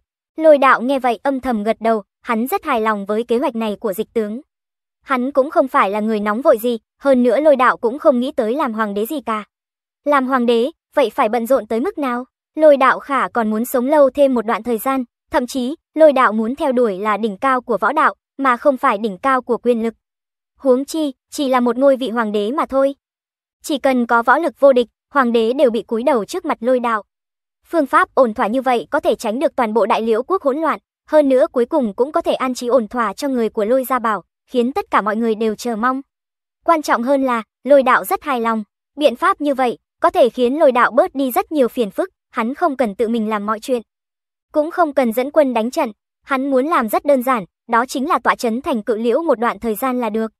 Huống chi, lôi đạo vốn là muốn đi hoàng thất một chuyến. Bí tàng của hoàng thất, lôi đạo thèm thuồng đã lâu. Kế hoạch của dịch tiên sinh, nếu mọi người đều không có dị nghị, vậy cứ quyết định như vậy. Đại tướng quân đi liên hệ bộ hạ cũ trong quân trước, nửa tháng sau xuất phát. Đi đến thành cự liễu, lôi đạo vừa dứt lời, ánh mắt của tất cả mọi người đều lộ ra vẻ hưng phấn. Một khi kế hoạch thành công, vậy bọn họ ai nấy đều công thành danh toại, mặc kệ trước đó là sơn tặc hay là võ phu, có một người tính một người, vậy đều có thể là công thần khai quốc. Xem ra, lúc trước lựa chọn đầu nhập vào lôi đạo, đó là lựa chọn chính xác nhất trong cuộc đời bọn họ. Bây giờ còn có thể tham dự vào đại nghiệp của lôi gia bảo. Đó là may mắn không gì sánh được. Trong hoàng cung thành cự liễu, lôi đạo đứng dưới cây liễu, chắp tay sau lưng, lẳng lặng nhìn cây liễu lớn cao vút trong mây.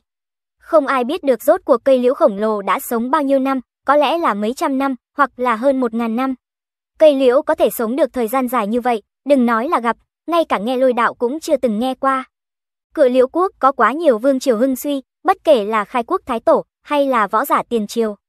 Cho dù phong hoa tuyệt đại thì như thế nào, cuối cùng vẫn hóa thành một nắm đất vàng. Ngược lại cây liễu khổng lồ này sống đến bây giờ, chứng kiến một thời đại lại một thời đại. Bây giờ, lại đến phiên hoàng thất của nước cự liễu. Lôi đạo có thể cảm nhận rõ ràng sinh mệnh lực dư thừa của cây liễu khổng lồ. Nếu như không gặp phải tình huống ngoài ý muốn, chỉ sợ cây liễu khổng lồ này sống thêm một ngàn năm cũng không có vấn đề gì.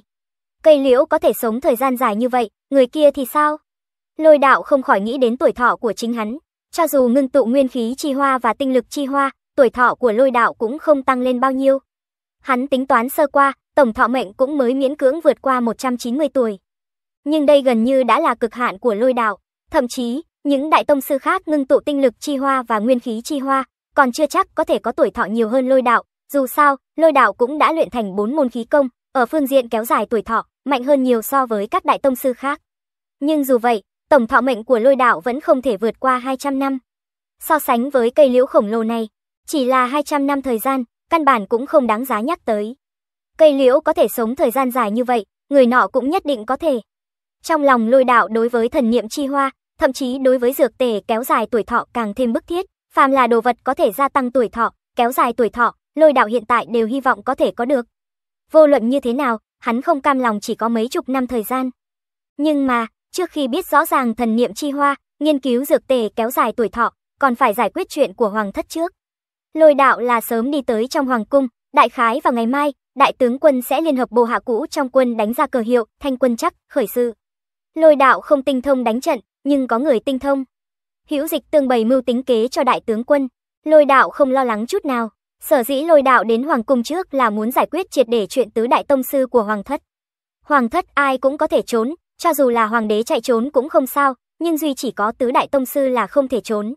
Nếu tứ đại tông sư chạy trốn, sau đó ẩn nấp phía sau màn, nhắm vào người của lôi gia bảo, ngoài lôi đạo ra, e là những người khác cả ngày đều sống trong sợ hãi. Bởi vậy, tứ đại tông sư phải diệt trừ, cho nên, người đạo sớm đi tới trong hoàng cung, chính là muốn triệt để giải quyết tứ đại tông sư, bóp chết nguy hiểm từ trong trứng nước. Vù, thân ảnh lôi đạo lóe lên, hóa thành một đạo huyễn ảnh, biến mất dưới cây liễu. Ở sâu trong hoàng cung, sắc mặt của bốn vị tông sư đều sầu khổ, cho đến ngày nay, bọn họ cũng không nghĩ ra được biện pháp đối phó với lôi đạo.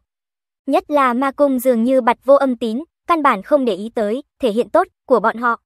Điều này khiến hoàng đế gần như tuyệt vọng, không hề nghi ngờ, ma cung biết được muốn đối phó đao thần lôi đạo, dứt khoát kiên quyết đem bọn họ vứt bỏ. Dù hoàng thất cho ra nhiều điều kiện hơn nữa thì như thế nào? Ma cung không dám đối đầu trực diện với lôi đạo. Đến lúc này, hoàng đế mới biết được, một vị đại tông sư, một vị võ đạo thần thoại có phân lượng nặng bao nhiêu. Thế lực dã tâm bừng bừng như ma cung cũng không dám dễ dàng đối mặt với một vị võ đạo thần thoại. Phù, bỗng nhiên, phảng phất như một trận gió nhẹ lướt qua khuôn mặt tứ đại tông sư cùng hoàng đế trong viện. Hoàng đế trợn to mắt, hắn nhìn thấy một bóng người quen thuộc đang đứng chắp tay ở cửa.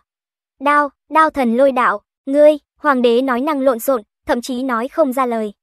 Thân ảnh này, trong khoảng thời gian gần đây quả thực đã thành ác mộng của hắn, để hắn ăn ngủ không yên. Lôi đạo, đao thần lôi đạo, đã tới rồi.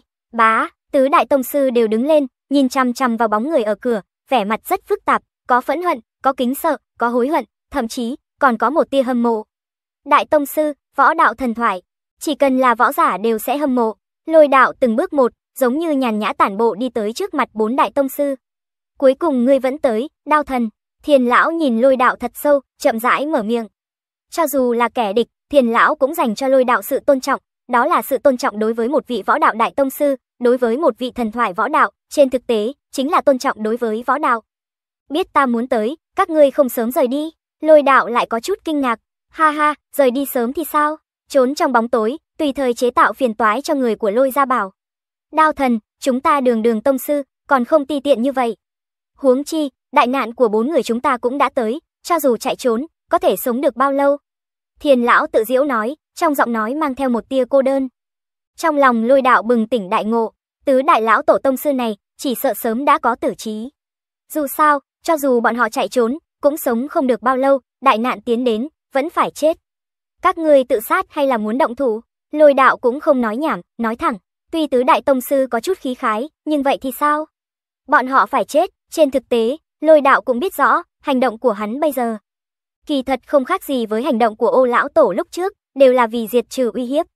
Nếu thật sự muốn nói khác nhau, đó chính là lôi đạo mạnh hơn ô lão tổ. Thiền lão hít một hơi thật sâu, trong ánh mắt lóe lên một tia sáng, trầm giọng nói, đao thần, ngươi là đại tông sư, thần thoại võ đạo, đương nhiên chúng ta không phải là đối thủ của ngươi. Nhưng hôm nay, chúng ta không phải luận bàn, mà là tử chiến, bốn người chúng ta đã có ý muốn chết, hy vọng có thể kiến thức một chút sức mạnh của thần thoại võ đạo. Lôi đạo hiểu rõ, bốn đại tông sư này vẫn muốn chết trận. Đây là quyết định cuối cùng của một võ phu nên có. Lôi đạo gật đầu nói, lôi mỗ sẽ cho các ngươi thể diện nên có, dù sao, các ngươi đều là tông sư. Lôi miểu ấu dùng một kích mạnh nhất, các ngươi có thể nhìn thấy sức mạnh chân chính của thần thoại võ đạo. Được, thiền lão, hạc lão, phong lão, cầm lão, tứ đại lão tổ của tông sư, giờ phút này nhìn nhau một cái, tựa hồ đều có thể nhìn thấy sự kiên định cùng quyết tuyệt trong ánh mắt của đối phương. Hiển nhiên, bọn họ đã sớm có dự định này, đại thế đã mất, bọn họ còn có thể làm gì? Thân là võ giả, thân là tông sư, điều duy nhất bọn họ có thể làm chính là dốc hết toàn lực đánh một trận, mặc dù chết cũng phải chết trong chiến đấu. Thiêu đốt, tứ đại tông sư động thủ, gần như không có bất kỳ lời nói dư thừa nào, bọn họ trực tiếp thiêu đốt tinh khí. Âm, tinh khí hừng hực thiêu đốt, tản mát ra lực lượng khủng bố. Bốn đại tông sư liên thủ, thậm chí còn kết thành đại trận, đồng loạt thiêu đốt tất cả tinh khí bản thân. Đây không phải là chiến đấu, mà là đang liều mạng. Đến một bước này, trong lòng bốn đại tông sư đều có tử trí. Còn có cái gì có thể cố kỵ? Mặt lôi đạo không không chút biểu cảm, nhưng khi nhìn thấy bốn đại tông sư quyết tuyệt như thế, trực tiếp thiêu đốt tinh khí, hình thành khí thế khủng bố phô thiên cái địa bao phủ mà đến, hắn vẫn âm thầm gật đầu. Chỉ là, cho dù tứ đại tông sư thiêu đốt toàn bộ tinh khí bản thân liều mạng thì như thế nào? Nếu tông sư liều mạng có thể chiến thắng đại tông sư, vậy đại tông sư cũng sẽ không được xưng là thần thoại võ đạo. Giờ phút này, cho dù lôi đạo có đứng yên ở đây không nhúc nhích, một đòn thiêu đốt tinh khí mạnh nhất của tứ đại tông sư cũng không làm gì được lôi đạo. Nhưng lôi đạo đã đáp ứng, cho tứ đại tông sư này thể diện nên có, đáp ứng cho tứ đại tông sư nhìn một chút lực lượng chân chính của thần thoại võ đạo. Bởi vậy, lôi đạo vừa động tâm niệm, sau một khắc, hai đóa hoa to lớn phóng lên trời. Âm âm, nguyên khí vô cùng vô tận, tinh lực vô cùng vô tận phóng lên tận trời. Tinh khí như trụ, tạo thành hai đóa hoa khổng lồ giữa hư không, tinh khí cuồn cuộn chút xuống, tỏa ra uy thế khủng khiếp vô tận. Đó là một đòn thiêu đốt toàn bộ tinh khí của tứ đại tông sư, thăng hoa cực điểm. Dưới uy thế của đóa hoa tinh lực và nguyên khí chi hoa của lôi đạo, nó cũng nhỏ bé như vậy, thậm chí không chịu nổi một đòn. Lôi đạo lẳng lặng đứng tại chỗ, hai đóa hoa tinh lực và nguyên khí chi hoa trên đỉnh đầu hắn vắt ngang trong hư không, hiện ra trước mắt mọi người. Cảnh tượng này thật sự quá chấn động, lúc trước cho dù ô lão tổ trở về, kỳ thật cũng không hiển lộ ra bất kỳ uy thế gì của đại tông sư. Mà bây giờ, lôi đạo hiển lộ ra toàn bộ khí thế, loại uy thế này quả thực nghe rợn cả người, tựa hồ đã vượt xa khỏi tưởng tượng của người bình thường đối với võ công. Thì ra võ công cũng có thể đạt tới mức khủng bố như thần như ma. Nguyên khí chi hoa khổng lồ và tinh lực chi hoa vắt ngang trên bầu trời hoàng cung. Không chỉ có mọi người trong hoàng cung thấy được, ngay cả bên ngoài hoàng cung, mấy chục vạn người của thành cự liễu cũng đều thấy được hai đóa hoa khổng lồ này. Cho dù là người bình thường, nhìn thấy đóa hoa che khuất bầu trời, cũng từ sâu trong nội tâm cảm thấy một tia run rẩy. Đây là áp chế trên cấp độ sinh mệnh, đến đại tông sư, ngưng tụ ra tinh lực chi hoa hoặc nguyên khí chi hoa, vậy thì gần như là đạt đến cực hạn của sinh mệnh người bình thường. Người bình thường đối mặt với cường giả đạt tới cực hạn của sinh mệnh, tự nhiên sẽ sinh lòng sợ hãi. Vốn lôi đạo một mình đi tới hoàng cung, không gây ra động tĩnh gì. Nhưng bây giờ, khi tinh lực chi hoa và nguyên khí chi hoa hiện ra, vắt ngang trên bầu trời hoàng cung, tất cả mọi người đều biết trong hoàng cung tất nhiên đã xảy ra một ít đại sự kinh thiên động địa. Thậm chí, một số người có kiến thức đã mơ hồ đoán được cái gì. Tinh lực chi hoa, nguyên khí chi hoa, Thiền lão thấp giọng lẩm bẩm, bốn đại tông sư càng là ánh mắt lửa nóng nhìn hai đóa hoa to lớn trên đỉnh đầu lôi đạo, đây là cảnh giới bọn họ tha thiết ước mơ đều muốn đạt tới. Thậm chí, đây là cảnh giới trí cao mà tất cả võ giả đều muốn đạt tới. Thì ra đây chính là đại tông sư, đây chính là thần thoại võ đạo sao? Ha ha ha, lão phu hài lòng rồi, ta cũng thỏa mãn, đi thôi, cùng nhau chịu chết. Ha ha ha, tứ đại tông sư ngửa mặt lên trời cười to, đến giờ phút này, bọn họ tựa hồ đã nhìn thấu tất cả. Đợi đến khi tinh khí trên người bọn họ hoàn toàn thiêu đốt hầu như không còn. Khí thế đạt tới đỉnh phong, bốn đại tông sư đột nhiên động thủ. Một cỗ lực lượng kinh khủng, như cuồng phong bạo vũ, gào thét lao về phía lôi đạo. Thần sắc lôi đạo không thay đổi, nguyên khí chi hoa của hắn khẽ run lên, lập tức lượng lớn nguyên khí rót vào trong tinh lực chi hoa, lôi đạo tung quyền đánh ra một quyền. Âm, một quyền này, lôi đạo không hề lưu lực, mà là toàn lực ứng phó. Không khí đều bị đánh ra tiếng nổ chói tai, mặc cho tứ đại tông sư thiêu đốt tinh khí, mặc cho tứ đại tông sư bộc phát ra toàn bộ lực lượng, vậy thì tính sao? Một quyền này của lôi đạo, đường đường chính chính, trùng trùng điệp điệp, hoàn toàn quang minh mở to nghiền ép mà đến, bẻ gãy nghiền nát tất cả lực lượng của tứ đại tông sư. Quét ngang tất cả địch, đây là sức mạnh vô địch, bành, một quyền hạ xuống, tứ đại tông sư đồng loạt chấn động, sau đó giống như diều đứt dây bay ngược ra ngoài, nặng nề ngã xuống đất, không còn chút khí tức nào. Tứ đại tông sư cứ thế ngã xuống, lão tổ, sắc mặt hoàng đế trắng bệch, trong mắt hiện đầy tơ máu, ngơ ngác nhìn thi thể bốn vị lão tổ trên mặt đất. Hắn hiểu được, bầu trời của hoàng thất thật sự thay đổi, tất cả đều kết thúc. Chấm thẹn với liệt tổ liệt tông, hoàng đế ngửa mặt lên trời rên rỉ, sau đó, khóe miệng hắn tràn ra một tia máu tươi, cả người cũng nhanh chóng mềm nhũn ngã xuống đất, một lát sau đã không còn bất kỳ khí tức gì. Hoàng đế đã sớm dùng độc dược, hiện tại độc dược phát tác, hoàng đế cũng theo tứ đại tông sư đi. Hoàng đế và tứ đại tông sư đều đã chết, hoàng cung loạn thành một mảnh. Nhưng có lôi đạo tọa chấn, trong hoàng cung một người cũng không ra được. Một mình lôi đạo đương nhiên không đủ, nhưng hắn nắm trong tay mẫu cổ tử mẫu liên tâm cổ.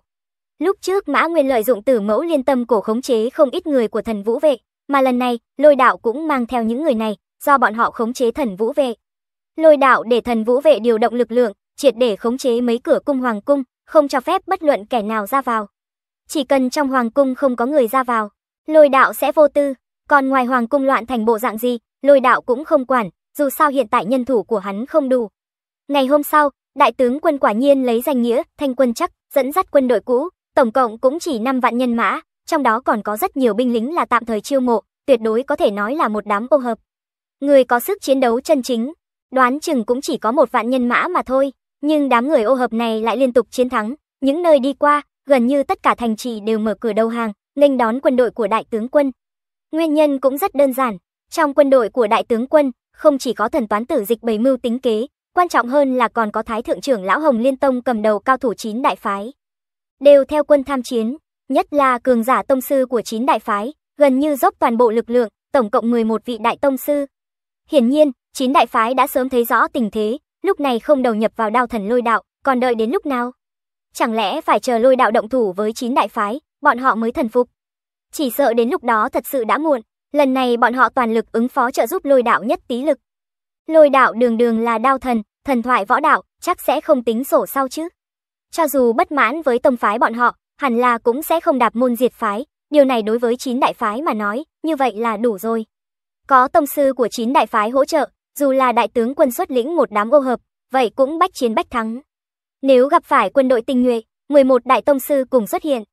Chém giết quân đội không còn, quân đội tinh nhuệ mất đi chủ soái, thì có sức chiến đấu gì đáng nói. Bởi vậy, trên đường đi nhân mã của đại tướng quân thế như trẻ tre, gần như không gặp phải chống cự gì, rất nhanh đã đánh vào trong thành cự liễu. Lôi đạo tọa chấn trong hoàng cung, lại có người của thần vũ vệ nắm lấy cửa cung, được xưng tụng là canh kiên cố. Đã từng có cấm quân muốn mạnh mẽ tấn công cửa cung. Tiến vào hoàng cung, nhưng một mình lôi đạo ra tay, trước mắt bao người, chém giết thống soái cấm quân trong vạn quân. Mấy vạn cấm quân như rắn mất đầu, đối mặt với lôi đạo giống như thần ma, trong khoảnh khắc đã sụp đổ, cuối cùng quân lính tan rã, cuống quýt rút lui, cũng không dám tấn công cửa cung nữa. Đợi đến khi đám người đại tướng quân, dịch tương dẫn quân đội tiến vào hoàng cung, cả tòa hoàng cung tuy hỗn loạn một chút, nhưng hầu như không có phá hư gì quá lớn, nhất là những hoàng tử trong hoàng cung, càng là một người cũng không thiếu. Đây chính là mấu chốt để sau này lôi đạo khống chế toàn bộ cự liễu quốc, ít nhất phải chọn lựa ra một con rối, trước tiên ổn định lại thế cục của cự liễu quốc, đây cũng là kế hoạch trước đó thần toán tử dịch tướng. Bây giờ, mấy khâu mấu chốt nhất của kế hoạch, hết thảy đều hoàn thành. Đại tướng quân nhìn hoàng cung rộng lớn, giống như còn có chút không dám tin vào mắt mình. Đoạn thời gian này, hắn quả thực giống như đang nằm mơ, thật sự là quá thuận lợi. Trước kia hắn mưu đồ rất nhiều năm, cuối cùng lại thất bại trong gang tấc. Nhưng lần này, hắn lại giống như vô cùng thuận lợi, mang theo 5 vạn quân ô hợp, thế mà liền thuận lợi khống chế được toàn bộ hoàng cung, cũng tiện thể khống chế được triều đình cự liễu quốc. Đây quả thực giống như là mộng ảo, cho đến khi gặp được lôi đạo, đại tướng quân dường như vẫn còn đắm chìm trong mộng ảo. Lúc này, dịch tương ở bên tai đại tướng quân nhắc nhở nói, đại tướng quân, có phải cảm thấy đại nghiệp mưu đồ của ngươi thực hiện quá dễ dàng rồi hay không? Quả thực quá dễ dàng rồi. Đại tướng quân hơi sững sờ, nhưng cũng không phủ nhận. Hắn biết, chút ý nghĩ trong lòng hắn căn bản không giấu được thần toán tử dịch tướng. Dịch tương mỉm cười, bỗng nhiên vẻ mặt trở nên ngưng trọng, trầm giọng nói, đại tướng quân nên nghĩ xem, vì sao đại nghiệp vĩ đồ của ngươi không thành công? Ngược lại bị hoàng đế chóc nã ngục, đó là bởi vì, lúc này đây có đao thần A. Đao thần đại nhân là thần thoại võ đạo cao quý, thậm chí ngay cả Hồng Liên Tông cửu đại phái đều phái tông sư đến trợ trận, tông sư hoàng thất cũng đều bị đao thần đại nhân diệt trừ. Đại tướng quân còn có thể gặp phải phiền toái gì? Cho nên, trong lòng đại tướng quân không nên có ý nghĩ gì khác. Lời dịch tướng nói, thay vì nói là giải thích, chẳng bằng nói là đang cảnh cáo đại tướng quân. Trong lòng đại tướng quân cũng hơi dùng mình, quả thực, trước đây hắn quá thuận lợi, thậm chí có chút dương dương tự đắc. Nhưng bây giờ trải qua dịch tướng nhắc nhở, đại tướng quân mới chính thức nhận thức được nguyên nhân tất cả đều thuận lợi như vậy. Lôi đạo, đao thần lôi đạo, nếu không có đao thần lôi đạo, đại tướng quân nhớ tới chuyện gì? Sợ rằng vừa ra khỏi lôi gia bảo đã bị diệt, bởi vậy, một chút manh mối dã tâm trong lòng đại tướng quân kia cũng theo đó dập tắt. Hắn biết, bầu trời của nước cự liễu, từ nay về sau chính là ý chí của một mình lôi đạo. Dịch tướng và đại tướng quân đã dẫn người triệt để khống chế được thành cự liễu. Hơn nữa còn có tông sư của chín đại phái đi theo. Thành cự liễu nho nhỏ, giờ phút này lại hội tụ 12 vị tông sư. Trong đó thậm chí còn có vị đại tông sư lôi đạo, thần thoại võ đạo. Bởi vậy, thế cục thành cự liễu trên cơ bản đã ổn định lại, lôi đạo cũng không cần quan tâm vấn đề triều chính của nước cự liễu, bởi vì dịch tương sẽ xử lý tất cả những thứ này rất tốt. Lôi đạo ngược lại có thể rơi vào một thân nhẹ nhõm. Sau khi ném một đống chuyện phiền toái cho thần toán tử, lôi đạo lập tức tiến vào trong bí khố hoàng thất mà hắn đã thèm nhỏ dãi từ lâu. Hoàng thất đã từng sinh ra đại tông sư, bởi vậy, nội tình thâm hậu, trong bí khố có rất nhiều bảo vật chân quý, lôi đạo trước kia ngay cả nghe cũng chưa từng nghe nói qua.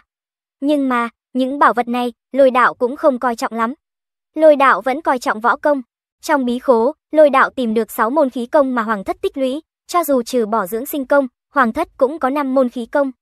Toàn bộ cự liễu quốc, có thể có 5 môn thế lực khí công, cũng chỉ có hoàng thất, cho dù là nội tình của chín đại phái, so với hoàng thất mà nói vẫn là kém một chút. Năm môn khí công này, lôi đạo đều cẩn thận lật xem một lần, kỳ thật đều coi như không tệ. Có loại hình khí công công, cũng có loại hình khí công phòng ngự, loại hình khí công phụ trợ cũng có. Nếu như cộng thêm dưỡng sinh công, vậy thậm chí ngay cả loại khí công kéo dài tuổi thọ cũng có, loại hình tương đối đầy đủ. Khó trách hoàng thất có thể một mực không ngừng tông sư, thậm chí còn không phải một hai người, mà là mấy vị tông sư. Chỉ dựa vào mấy môn khí công toàn diện này, đã có thể khiến vô số thế lực đỏ mắt. Cho dù là đại tông nhất lưu như Hồng Liên Tông, tuy cũng có ba môn khí công, nhưng căn bản không toàn diện, kém xa chân tàng của hoàng thất. Huống chi, trong bí khố hoàng thất còn có các loại thiên tài địa bảo, ví dụ như tăng cường cường độ thân thể, tăng cường khí huyết vân vân, quả thực nhiều vô số kể. Ở giai đoạn trước luyện võ, có những bảo vật này chống đỡ, luyện võ liền tương đối dễ dàng. Mặc dù tông sư tương đối khó có thể đạt tới, nhưng ngoại công đỉnh phong, thậm chí là cực hạn của thân thể con người, chỉ cần những tài nguyên này không ngừng nện xuống, cũng căn bản không thành vấn đề, chỉ là hao phí thời gian dài ngắn mà thôi. Chỉ tiếc, những khí công này lôi đạo cũng không thể luyện. Lôi đạo đã ngưng tụ ra nguyên khí chi hoa, phàm là lại luyện tập bất kỳ khí công nào, chỉ cần sinh ra khí cảm, thậm chí dưỡng ra một chút nguyên khí, đều sẽ bị nguyên khí chi hoa hấp thu trong nháy mắt. Căn bản không thể dưỡng ra bao nhiêu khí, nguyên khí chi hoa, vậy đại biểu cho cực hạn của nguyên khí, cho dù là lôi đạo cũng bất lực. Cho dù hắn dùng dị năng tăng khí công lên, cho dù trong nháy mắt tăng lên tới đại thành, nuôi lượng lớn nguyên khí cũng sẽ bị nguyên khí chi hoa nhanh chóng thôn phệ. Ngoại trừ uổng phí thọ mệnh một cách vô ích, căn bản cũng sẽ không có bất kỳ chỗ tốt nào, thậm chí thực lực cũng sẽ không tăng lên chút nào. Trong bí khố có rất nhiều võ công, không giống với bí khố thần vũ vệ cùng với tàng thư các của Hồng Liên Tông. Võ công cất giữ trong bí khố của Hoàng Thất, không có chỗ nào mà không phải là tinh phẩm, hầu như mỗi một môn võ công đều là ngàn chọn vạn tuyển. Trải qua chọn lựa nghiêm khắc mới để vào trong bí khố. Mỗi một môn đều là người nổi bật trong cùng loại hình võ công. Ví dụ như, lôi đạo đã từng luyện tập ba ngạnh công, trong đó có một môn ngạnh công gọi là thiết bố sam, đây là ngạnh công vô cùng bình thường. Mà trong bí khố hoàng thất cũng cất giữ một bộ thiết bố sam, nhưng lại gọi là long ngâm thiết bố sam. Chính là một vị đã từng là tông sư, đã hao phí tâm huyết cực lớn, một lần nữa hoàn thiện một môn ngoại công thượng thừa. So với thiết bố sam bình thường, không biết mạnh hơn bao nhiêu lần. Còn có kim trung cháo, trong kho bí mật cũng cất giữ một môn hổ khiếu kim trung cháo, cũng là một vị tông sư hao phí tâm huyết mấy chục năm, lúc này mới cải thiện thành công một môn ngạnh công. Hiệu quả so với kim trung cháo bình thường tốt hơn mấy lần. Đương nhiên, lôi đạo đã ngưng tụ ra tinh lực chi hoa, thân thể sớm đã là kim cương bất hoại. Đã từng luyện ngoại công hoặc là nội công nào, căn bản không quan trọng. Ngưng tụ ra tinh lực chi hoa, đó chính là điểm cuối của ngoại công hoặc nội công. Vô luận luyện tập loại ngoại công hoặc là nội công kia, đến đại tông sư, đều là tốc độ đồng quy, hết thảy đều sẽ thành tựu kim cương bất hoại thân. Nhiều võ công như vậy, đương nhiên lôi đạo không cần, nhưng lôi gia bảo có nhiều người như vậy, ngược lại có thể dùng. Hả, đây là bản chép tay. Bỗng nhiên, lôi đạo phát hiện một quyển bản chép tay. Xem ra niên đại có chút xa xưa, nhưng bảo tồn tương đối hoàn hảo, hơn nữa đặt ở vị trí vô cùng bắt mắt. Lôi đạo nhất lại đọc giới thiệu trên giá sách, trong lòng cả kinh. Bản chép tay của Thái Tổ Cự Liễu Quốc. Lôi đạo biết, Thái Tổ khai quốc của Hoàng thất Cự Liễu Quốc, thật ra chính là một vị đại tông sư chân chính, võ đạo thần thoại. Lấy sức một mình, ép chín phái lớn đều thần phục, khai sáng Cự Liễu Quốc, để lại vô số truyền thuyết kể về toàn bộ Cự Liễu Quốc. Một vị đại tông sư vô địch, bản chép tay võ đạo thần thoại lưu lại, vậy dĩ nhiên là vô cùng chân quý. Lôi đạo cầm bản chép tay lên, tiện tay mở ra. Hắn híp mắt, tốc độ lật xem càng ngày càng chậm, biểu lộ vốn không đếm xỉa tới, đến cuối cùng đều dần dần trở nên ngưng trọng, thậm chí hô hấp cũng dần dần dồn dập. Đây là biểu hiện của việc không thể khống chế tâm trạng kích động. Đường đường là đại tông sư, thần thoại võ đạo, còn có thứ gì đáng để lôi đạo kích động như thế. Quyển chép tay này, hồi lâu, lôi đạo khép lại bản chép tay. Tâm tình của hắn thật lâu không cách nào bình tĩnh, nội dung trong bản chép tay của tổ tiên thật sự là quá kinh người, cho dù lấy thân phận địa vị lôi đạo hiện tại, cũng không cách nào bảo trì chấn định. Bản chép tay hẳn là do thái tổ khai quốc của cự liễu quốc tự tay ghi chép lại, hơn nữa hẳn là đã sửa sang lại, đặc biệt đặt ở trong kho bí mật, để cho hậu nhân của thái tổ lật xem. Trong bản chép tay ghi lại, sau khi thái tổ định đỉnh thiên hạ, thậm chí tháo xuống ngôi vị hoàng đế, Vân Du thần lục quốc phát sinh một chuyện vô cùng quan trọng. Lúc trước thái tổ cự liễu quốc định đỉnh thiên hạ mấy chục năm, sau đó dỡ xuống ngôi vị hoàng đế, chuẩn bị đi thần lục quốc du lịch, hy vọng có thể bước lên đỉnh võ đạo. Dù sao, thái tổ lúc đó cũng không có ngưng tụ ra nguyên khí chi hoa, chỉ ngưng tụ ra tinh lực chi hoa. Vẫn đang thăm dò đỉnh cao của võ đạo, ở thần lục quốc, thái tổ của cự liễu quốc ngoài ý muốn gặp một người tự xưng là di tộc, bản thân bị trọng thương, được thái tổ cứu. Sau đó, thái tổ từ trong miệng người di tộc kia biết được một bí mật kinh thiên động địa. Hóa ra, tên đầy đủ của người trong di tộc thật ra gọi là thần di tộc, bọn họ tự xưng là người của thần di lưu lại phiến đại lục này. đã từng ở rất lâu trước đây, thống trị toàn bộ đại lục. Chỉ là sau đó không biết nguyên nhân gì xuống dốc, nhân số cũng trở nên rất ít, thậm chí còn phân liệt thành thần tộc và di tộc. Người di tộc cảm niệm thái tổ cứu mạng của hắn, giảng thuật rất nhiều chuyện liên quan tới di tộc, đương nhiên, đa số đều thuộc về cái gọi là sự tích, quang huy của di tộc. Trong đó, điều khiến thái tổ quan tâm nhất chính là tuổi thọ của người trong di tộc. Người của di tộc chỉ cần không chết ngoài ý muốn, trên cơ bản đều có thể sống trên 80 tuổi. Trong đó số ít, thậm chí có thể sống đến trên 120 tuổi. Phải biết rằng, đây chính là người bình thường trong di tộc. Mà người bình thường của cự liễu quốc thì sao? Trên cơ bản có thể sống trên 50 tuổi đã không tệ, có thể sống đến 60 tuổi chính là thọ cao. Nhưng người bình thường di tộc lại có thể sống đến trên trăm tuổi. Ít cũng có 80 tuổi. Nếu như là một ít di tộc thức tỉnh thiên phú, hoặc là luyện võ có thành tựu, thậm chí có thể sống đến hơn 150 tuổi. Điều này làm cho thái tổ của cự liễu quốc lúc đó rất khiếp sợ. Phải biết, cho dù là tông sư, trên thực tế có thể sống đến trên 100 tuổi cũng đã không tệ rồi, không phải người người luyện khí công đều là dưỡng sinh công, có thể kéo dài tuổi thọ. Một ít khí công kéo dài tuổi thọ cũng là bình thường, cũng không thể tăng thọ bao nhiêu. Thậm chí có một số đại tông sư còn sống, tuổi còn không cao bằng những người di tộc này. Trong lòng Thái Tổ rất chấn động, vốn định nói bóng nói gió, hỏi thăm người của di tộc càng nhiều tin tức hơn, nhưng về sau, người của di tộc tựa hồ bị một cỗ thế lực thần bí đuổi giết, trong đó càng có cường giả đại tông sư. Cho dù là Thạch Tổ cũng chỉ có thể bảo vệ mình, về phần tên tộc nhân kia thì biến mất không còn tâm tích. Sau đó, Thái Tổ trở lại cự liễu quốc, phát động tất cả thế lực trong nước, đi tìm tin tức liên quan tới thần di tộc, cuối cùng chỉnh lý lại với nhau, liền thành bản chép tay này. Chỉ tiếc, cuối cùng Thái Tổ cũng không thể tìm được tên tộc nhân kia, chỉ là đạt được một chút tin tức lập lờ nước đôi. Tựa hồ tên tộc nhân thần bí kia từng xuất hiện ở Hỏa La Quốc, sau đó liền không còn tin tức gì nữa. Nhưng mà, Thái Tổ đối với tin tức của thần di tộc cũng không phải hoàn toàn không có thu hoạch, mà là đích xác thu thập được một ít tư liệu liên quan tới thần di tộc, mặc dù không phải quá kỹ càng, nhưng trên cơ bản đều thu thập đầy đủ, đại khái đã biết tình huống của thần di tộc. Không thu thập không biết, sau khi thu thập ngay cả Thái Tổ cũng giật nảy mình, trong lòng khiếp sợ. Lần đầu tiên lôi đạo nhìn thấy tư liệu về thần di tộc trong bản chép tay này, trong lòng cũng vô cùng khiếp sợ. Căn cứ vào những tư liệu thu thập được này, lịch sử của thần di tộc vô cùng cổ xưa, thậm chí cổ xưa đến cả thời kỳ hoang dã thượng cổ trên đại lục này. Lúc đó, thần di tộc cũng đã xuất hiện, bọn họ dường như đã từng thống trị toàn bộ đại lục. Thần di tộc khi đó gần như là thần chân chính, bởi vì bọn họ không chỉ trường thọ, sẽ sống rất dài, hơn nữa còn trời sinh có một loại lực lượng thần kỳ, có thể làm cho người ta sinh ra ảo cảnh, có thể khống chế tư tưởng của người, thậm chí có thể di động vật thể. Loại năng lực này được thần di tộc gọi là lực lượng thần niệm. Thậm chí, ngay cả võ đạo ban đầu, kỳ thật cũng là thần di tộc truyền xuống. Cái gọi là tam hoa tụ đỉnh, cần tinh lực chi hoa, nguyên khí chi hoa cùng với thần niệm chi hoa. Trong đó thần bí nhất chính là thần niệm chi hoa, chỉ có thể là tộc nhân thần di tộc thức tỉnh thiên phú thần niệm mới có thể luyện thành. Người bình thường căn bản là không có cách thức tỉnh thiên phú thần niệm, nói cách khác, cho dù là đại tông sư, võ đạo thần thoại, chỉ cần không có thiên phú thần niệm. Không phải người thần di tộc, cũng đừng mơ tưởng ngưng tụ ra hoa thần niệm. Chỉ là, về sau thần di tộc không biết vì sao bị lật đổ, sau đó ở trong vô số năm tháng, liền phân liệt thành hai phái, theo thứ tự là thần tộc cùng di tộc. Thần tộc chủ trương hiện thế, dựa vào vũ lực cường đại, một lần nữa đoạt lại quyền thống trị thuộc về thần di tộc, trở thành chúa tể chân chính trí cao vô thượng của phiến đại lục này. Mà di tộc thì cho rằng, thần di tộc huy hoàng đã là quá khứ, nếu cứ tiếp tục cao điệu như vậy, chỉ sợ thần di tộc sẽ bị diệt tộc. Bởi vậy, di tộc chủ trương lánh đời, điệu thấp sinh hoạt, đem thần di tộc truyền thừa chậm rãi xuống là được. Hai phái phân tranh liên miên vô số năm, cuối cùng tựa hồ đều biến mất vô tung, có rất ít người có thể gặp lại. Người có thể biết thần di tộc, càng lác đác không có mấy. Thái tổ cũng là ngoài ý muốn gặp người của di tộc, cho nên lúc này mới bắt đầu chú ý thần di tộc, đồng thời chuyên môn sai người thu thập được một chút tư liệu về thần di tộc như thế.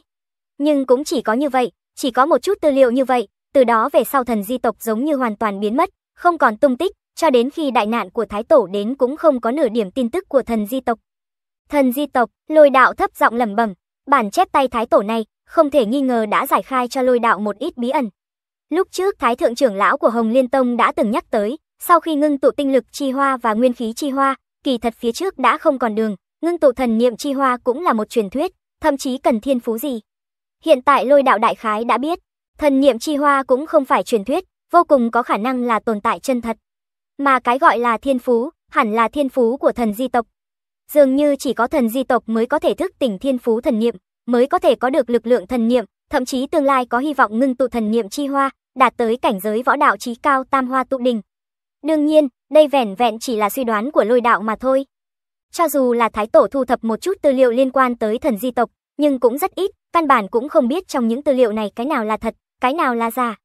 Đúng rồi, trong bản chép tay có đề cập tới, cuối cùng Thái Tổ vẫn thu thập được một môn công pháp nghi là thần di tộc dùng để luyện tập lực lượng thần niệm, đặt ở trong bí khố. Trong lòng lôi đạo khẽ động, hắn lập tức bắt đầu hành động. Tìm kiếm võ công liên quan tới lực lượng thần niệm để luyện tập. Võ công trong bí khố thật sự là quá nhiều, mà đối với thần di tộc, theo thời gian trôi qua, rất nhiều chuyện đều khó có thể khảo chứng, tựa hồ thành viên hoàng thất về sau cũng không quan tâm thần di tộc. Bởi vậy, ngay cả một môn võ công luyện tập thần niệm lực mà Thái Tổ lấy được kia cũng không biết để ở nơi nào. Lôi đạo tìm trọn vẹn một canh giờ, cuối cùng mới tìm được một quyển sách cổ phủ đầy cho bụi ở trong góc một dãy giá sách, dường như đã rất lâu không có người lật xem. Phía trên chuyên môn ghi chú hai chữ to, thần niệm cơ sở rèn luyện thập tam thức. Lôi đạo nhìn thấy cuốn sách cổ này, như nhặt được trí bảo, trong lòng vô cùng kích động. Có công pháp, vậy nói rõ có thể luyện tập. Một khi luyện tập nhập môn, lôi đạo cũng mặc kệ có thể luyện thành hay không. Dù sao có dị năng trợ giúp tăng lên, công pháp khó khăn hơn nữa đều có thể triệt để luyện đến đại thành. Có lẽ, ngưng tụ thần niệm chi hoa có hy vọng. Trong lòng lôi đạo vô cùng phấn chấn, hoàng thất bí khố quả nhiên không để cho hắn thất vọng, vốn cảm thấy ngưng tụ thần niệm chi hoa là chuyện hư vô mờ mịt, không nghĩ tới bây giờ nhìn còn có hy vọng. Vì vậy, lôi đạo vội vàng mở ra 13 thức rèn luyện thần niệm cơ sở. Trang thứ nhất liền vẽ rất nhiều hình vẽ kỳ quái, tựa hồ là tư thế của từng người. Những tư thế này cũng không khó, lôi đạo nhìn những tư thế này, hắn có thể dễ dàng làm ra, dù sao, hắn chính là kim cương bất hoại thân, có động tác độ khó cao nào mà không làm ra được. Nhưng lôi đạo lại hơi nghi hoặc một chút, nếu đơn giản như vậy, vì sao lúc trước thái tổ cự liễu quốc không thể luyện ra thần nhiễm lực? Lôi đạo cẩn thận lật xem, sắc mặt dần dần trầm xuống. Thì ra quyển, thần niệm cơ sở rèn luyện thập tam thức này đích xác là dùng để rèn luyện thần niệm chi lực, nhưng đầu tiên phải thức tỉnh thần niệm chi lực, nhất định phải cảm ứng được thần niệm chi lực. Nếu như không có cách nào cảm ứng được lực lượng thần niệm, vậy quyển công pháp này cũng sẽ không dùng được. Lôi đạo rốt cuộc hiểu được, khó trách thái tổ cự liễu quốc không thể luyện ra thần niệm lực, không có thức tỉnh thần niệm lực, căn bản là không có cách nào rèn luyện. Dù có môn công pháp này, cũng không làm nên chuyện gì. Thiên phú giác tỉnh, lôi đạo nhíu chặt lông mày, căn cứ tư liệu của thần di tộc, tựa hồ cái gọi là thiên phú thần niệm này thật sự thuộc về thần di tộc, người bình thường căn bản không có. Chẳng lẽ phía trước thật sự đã không còn đường rồi? Thậm chí ngay cả lôi đạo cũng có chút hoài nghi. Không, nhất định có biện pháp, chỉ cần ta cảm ứng được thần niệm lực, dù là một chút thần niệm lực là được. Đến lúc đó, lại đem công pháp rèn luyện thần niệm lực nhập môn, có thể nhanh chóng tăng công pháp lên đại thành. Thần niệm chi hoa cũng chưa chắc không thể ngưng tụ. Tam hoa tụ đỉnh cũng không phải chỉ thần di tộc mới có. Trong ánh mắt lôi đạo hiện lên một đạo tinh mang, trên mặt cũng lộ ra vẻ kiên định, bất kể như thế nào, hắn cũng sẽ không từ bỏ. Liên quan tới thần di tộc, liên quan tới lực lượng thần niệm, thậm chí liên quan tới thần niệm chi hoa, lôi đạo lại tỉ mỉ lật xem mấy lần bản chép tay của Thái Tổ. Cho đến khi ghi nhớ kỹ nội dung trong bản chép tay mới thôi. Trong đầu lôi đạo đang sắp xếp nội dung trong bản chép tay của Thái Tổ, hắn phải có một con đường để sửa sang lại sau này của mình. Đầu tiên, lôi đạo phải xác nhận trên đời thật sự có thần di tộc. Sau đó chính là tìm được thần di tộc nhân, chỉ có tìm được người của thần di tộc mới có thể biết rõ cái gọi là thiên phú, hoặc là nói lực lượng thần niệm, đến tột cùng là chuyện gì xảy ra. Ân, chuyện này giao cho dịch tướng, để hắn phát động toàn bộ hệ thống tình báo của cự liễu quốc, toàn lực điều tra tung tích thần di tộc. Lôi đạo đã sắp xếp xong mạch suy nghĩ, hiện tại hắn tọa chấn ở trong hoàng cung, gần như là độc tài đại quyền, tự nhiên có thể điều động toàn bộ lực lượng tình báo của cự liễu quốc. Dùng để điều tra người thần di tộc, tự nhiên không thể tốt hơn. Nhưng lôi đạo cũng hiểu rất rõ, lúc trước thái tổ của cự liễu quốc cũng không thể tìm được tộc nhân của thần di tộc, hắn muốn tìm được, chỉ sợ cũng rất khó. Bởi vậy, lôi đạo chỉ có thể lẳng lặng chờ đợi. Ngày thứ hai, lôi đạo dịch gọi thần toán tử dịch tương tới. Đao thần đại nhân, ngài tìm ta có phân phó không? Thái độ của thần toán tử vô cùng cung kính. Từ sau khi lôi đạo trở thành đại tông sư, thái độ của dịch tướng càng thêm cung kính. Đây cũng là thái độ mà một người thông minh nên có. Lôi đạo lấy bản chép tay của thái tổ ra, trực tiếp đưa cho dịch tướng. Từ tốn nói, dịch tiên sinh, đây là bản chép tay của thái tổ hôm qua ta tìm được trong bí khố của hoàng thất, ngươi xem trước đi. Thần toán tử dịch tương hồ nghi nhận lấy bản chép tay, lập tức bắt đầu lật xem. Theo thời gian trôi qua, thần sắc trên mặt thần toán tử dịch tương càng ngày càng ngưng trọng, cuối cùng mơ hồ chấn kinh. Sau khi xem xong, hắn ngẩng đầu, ánh mắt chấn động hỏi, đao thần đại nhân. Đây, đây là thật sao? Thái tổ thủ chát, hẳn là không giả. Huống chi, hoàng thất cũng sẽ không bỏ một bản thủ chát giả ở trong bí khố hoàng thất. Lôi đạo bình tĩnh nói, cái này, cái này thật sự là quá kinh người. Thần di tộc, không nghĩ tới trên đời còn có một tộc duệ thần kỳ như vậy. Hơn nữa, tam hoa tụ đỉnh trong truyền thuyết, lại có quan hệ với thần di tộc. Không có thiên phú thì không cách nào ngưng tụ ra thần niệm chi hoa sao? Cái này chẳng phải là nói, đao thần đại nhân ngài không cách nào ngưng tụ ra thần niệm chi hoa sao? Thần toán tử dịch tướng rất kinh ngạc, nhưng hắn không hổ là người thông minh, rất nhanh đã nghĩ đến chỗ mấu chốt. Lôi đạo cảm thấy hứng thú với thần di tộc như vậy, chỉ sợ là có liên quan đến thần niệm chi hoa. Dù sao, lôi đạo bây giờ đã là thần thoại võ đạo cao quý, thậm chí ngưng tụ ra tinh lực chi hoa và nguyên khí chi hoa. Cách võ đạo cảnh giới trí cao tam hoa tụ đỉnh trong truyền thuyết, vẻn vẹn chỉ kém một đóa thần niệm chi hoa. Phàm là tin tức có liên quan đến thần niệm chi hoa, chỉ sợ lôi đạo đều sẽ cảm thấy hứng thú. Lôi đạo lắc đầu nói, mặc dù đây là bản chép tay của Thái Tổ, nhưng tin tức về thần di tộc vẫn còn quá ít, tin tức về thần niệm chi hoa lại càng ít. Mặc kệ có thể ngưng tụ thần niệm chi hoa hay không, ta đều phải tìm được một vị thần di tộc nhân chân chính mới được. Bởi vậy, dịch tiên sinh có thể chú ý đến tất cả tin tức về thần di tộc, thu thập tất cả lại, báo cáo cho ta. Hiểu rồi, nếu có bất cứ tin tức gì của thần di tộc, thuộc hạ nhất định lập tức thông báo cho đao thần đại nhân. Dịch tương hiểu ý của lôi đạo, trước thu thập tin tức liên quan tới thần di tộc, thậm chí tìm được một vị thần di tộc chân chính. Chỉ có tìm được thần di tộc chân chính, lôi đạo mới có thể biết cái gọi là thiên phú thần niệm đến tột cùng là chuyện gì xảy ra. Thậm chí, có thể biết bí mật của thần niệm chi hoa. Điều này đối với lôi đạo mà nói, cực kỳ quan trọng. Dịch tương tự nhiên không dám chậm trễ, đem chuyện này tăng lên tới một trong những chuyện trọng yếu nhất, mật thiết chú ý bất luận tin tức gì của thần di tộc. Ta tự nhiên tin tưởng dịch tiên sinh, trong khoảng thời gian này có lao dịch tiên sinh. Dứt lời, lôi đạo liền quay người rời đi, hắn đối với dịch tướng rất yên tâm, cũng không phải hoàn toàn tín nhiệm. Mà là lôi đạo tin tưởng, chỉ cần có hắn ở đây một ngày, như vậy người dưới tay, vô luận có động tác nhỏ gì, kỳ thật đều không có bất kỳ ý nghĩa, hắn tùy thời đều có thể chấn áp. Lôi đạo tin tưởng, với sự thông minh của thần toán tử dịch tướng, căn bản sẽ không phạm phải loại sai lầm cấp thấp này. Sau khi đem chuyện của thần di tộc nói cho thần toán tử dịch tướng một phen, lôi đạo lại lần nữa quay trở về trong bí khố hoàng thất, bắt đầu cẩn thận nghiên cứu bộ thần niệm cơ sở rèn luyện thập tam thức. Vô luận như thế nào, thử một lần cũng sẽ không sai. Có lẽ, còn có thể sẽ có một chút thu hoạch ngoài ý muốn. Hỏa La Quốc, Thiên Hà Bang quặng mỏ, Thiên Hà Bang lấy sông làm sinh, bang chúng mấy vạn, phân bố một con sông lớn nhất Hỏa La Quốc, hai bên bờ Thương Hà.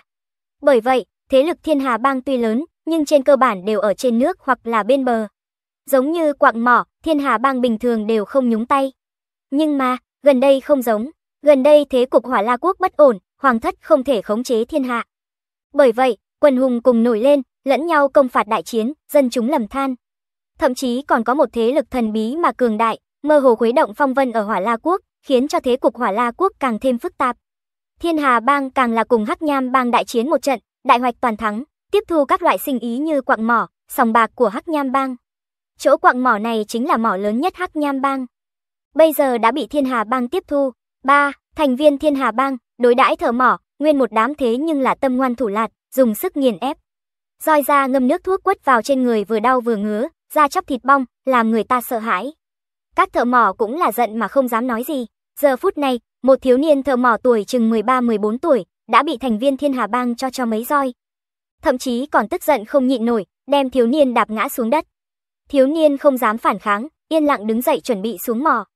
Ở tuổi của hắn, lẽ ra không nên ở mỏ, nhưng bây giờ lại làm việc khổ nhất, mệt nhất ở mỏ, đương nhiên cũng có nguyên nhân. Mẹ của hắn bị bệnh, bệnh tình nguy kịch, còn có một muội muội. Phùng Lân tuổi còn nhỏ nhất định phải gánh vác gánh nặng gia đình. Ca, ca, bỗng nhiên, một giọng nói trong trẻo mà có chút lo lắng truyền đến từ mỏ. Muội muội, làm sao vậy? Phùng Lân trong lòng giật mình, vội vàng nhìn về phía một thân ảnh xinh đẹp đang vội vã chạy tới nơi xa, là muội muội của hắn. Ca, mẫu thân sắp không xong rồi, người nhanh trở về đi. Em gái đã sắp khóc đến nơi, Phùng Lân lập tức chuẩn bị rời đi. Ba, một cây roi dài quất mạnh lên người Phùng Lân, lập tức ra chóc thịt bong, máu tươi vẩy ra. Không thể đi, tiến vào mỏ này, nhất định phải làm đến tan tầm, nếu không ai cũng không thể đi. Thiên Hà bang giám sát cao giọng nói, nhưng mẫu thân ta bệnh nặng, ta nhất định phải trở về. Phùng Lân dùng ánh mắt cầu xin nhìn giám sát, hắc hắc, ngươi trở về có thể, nhưng muội muội ngươi, ngược lại rất xinh đẹp, phải lưu lại.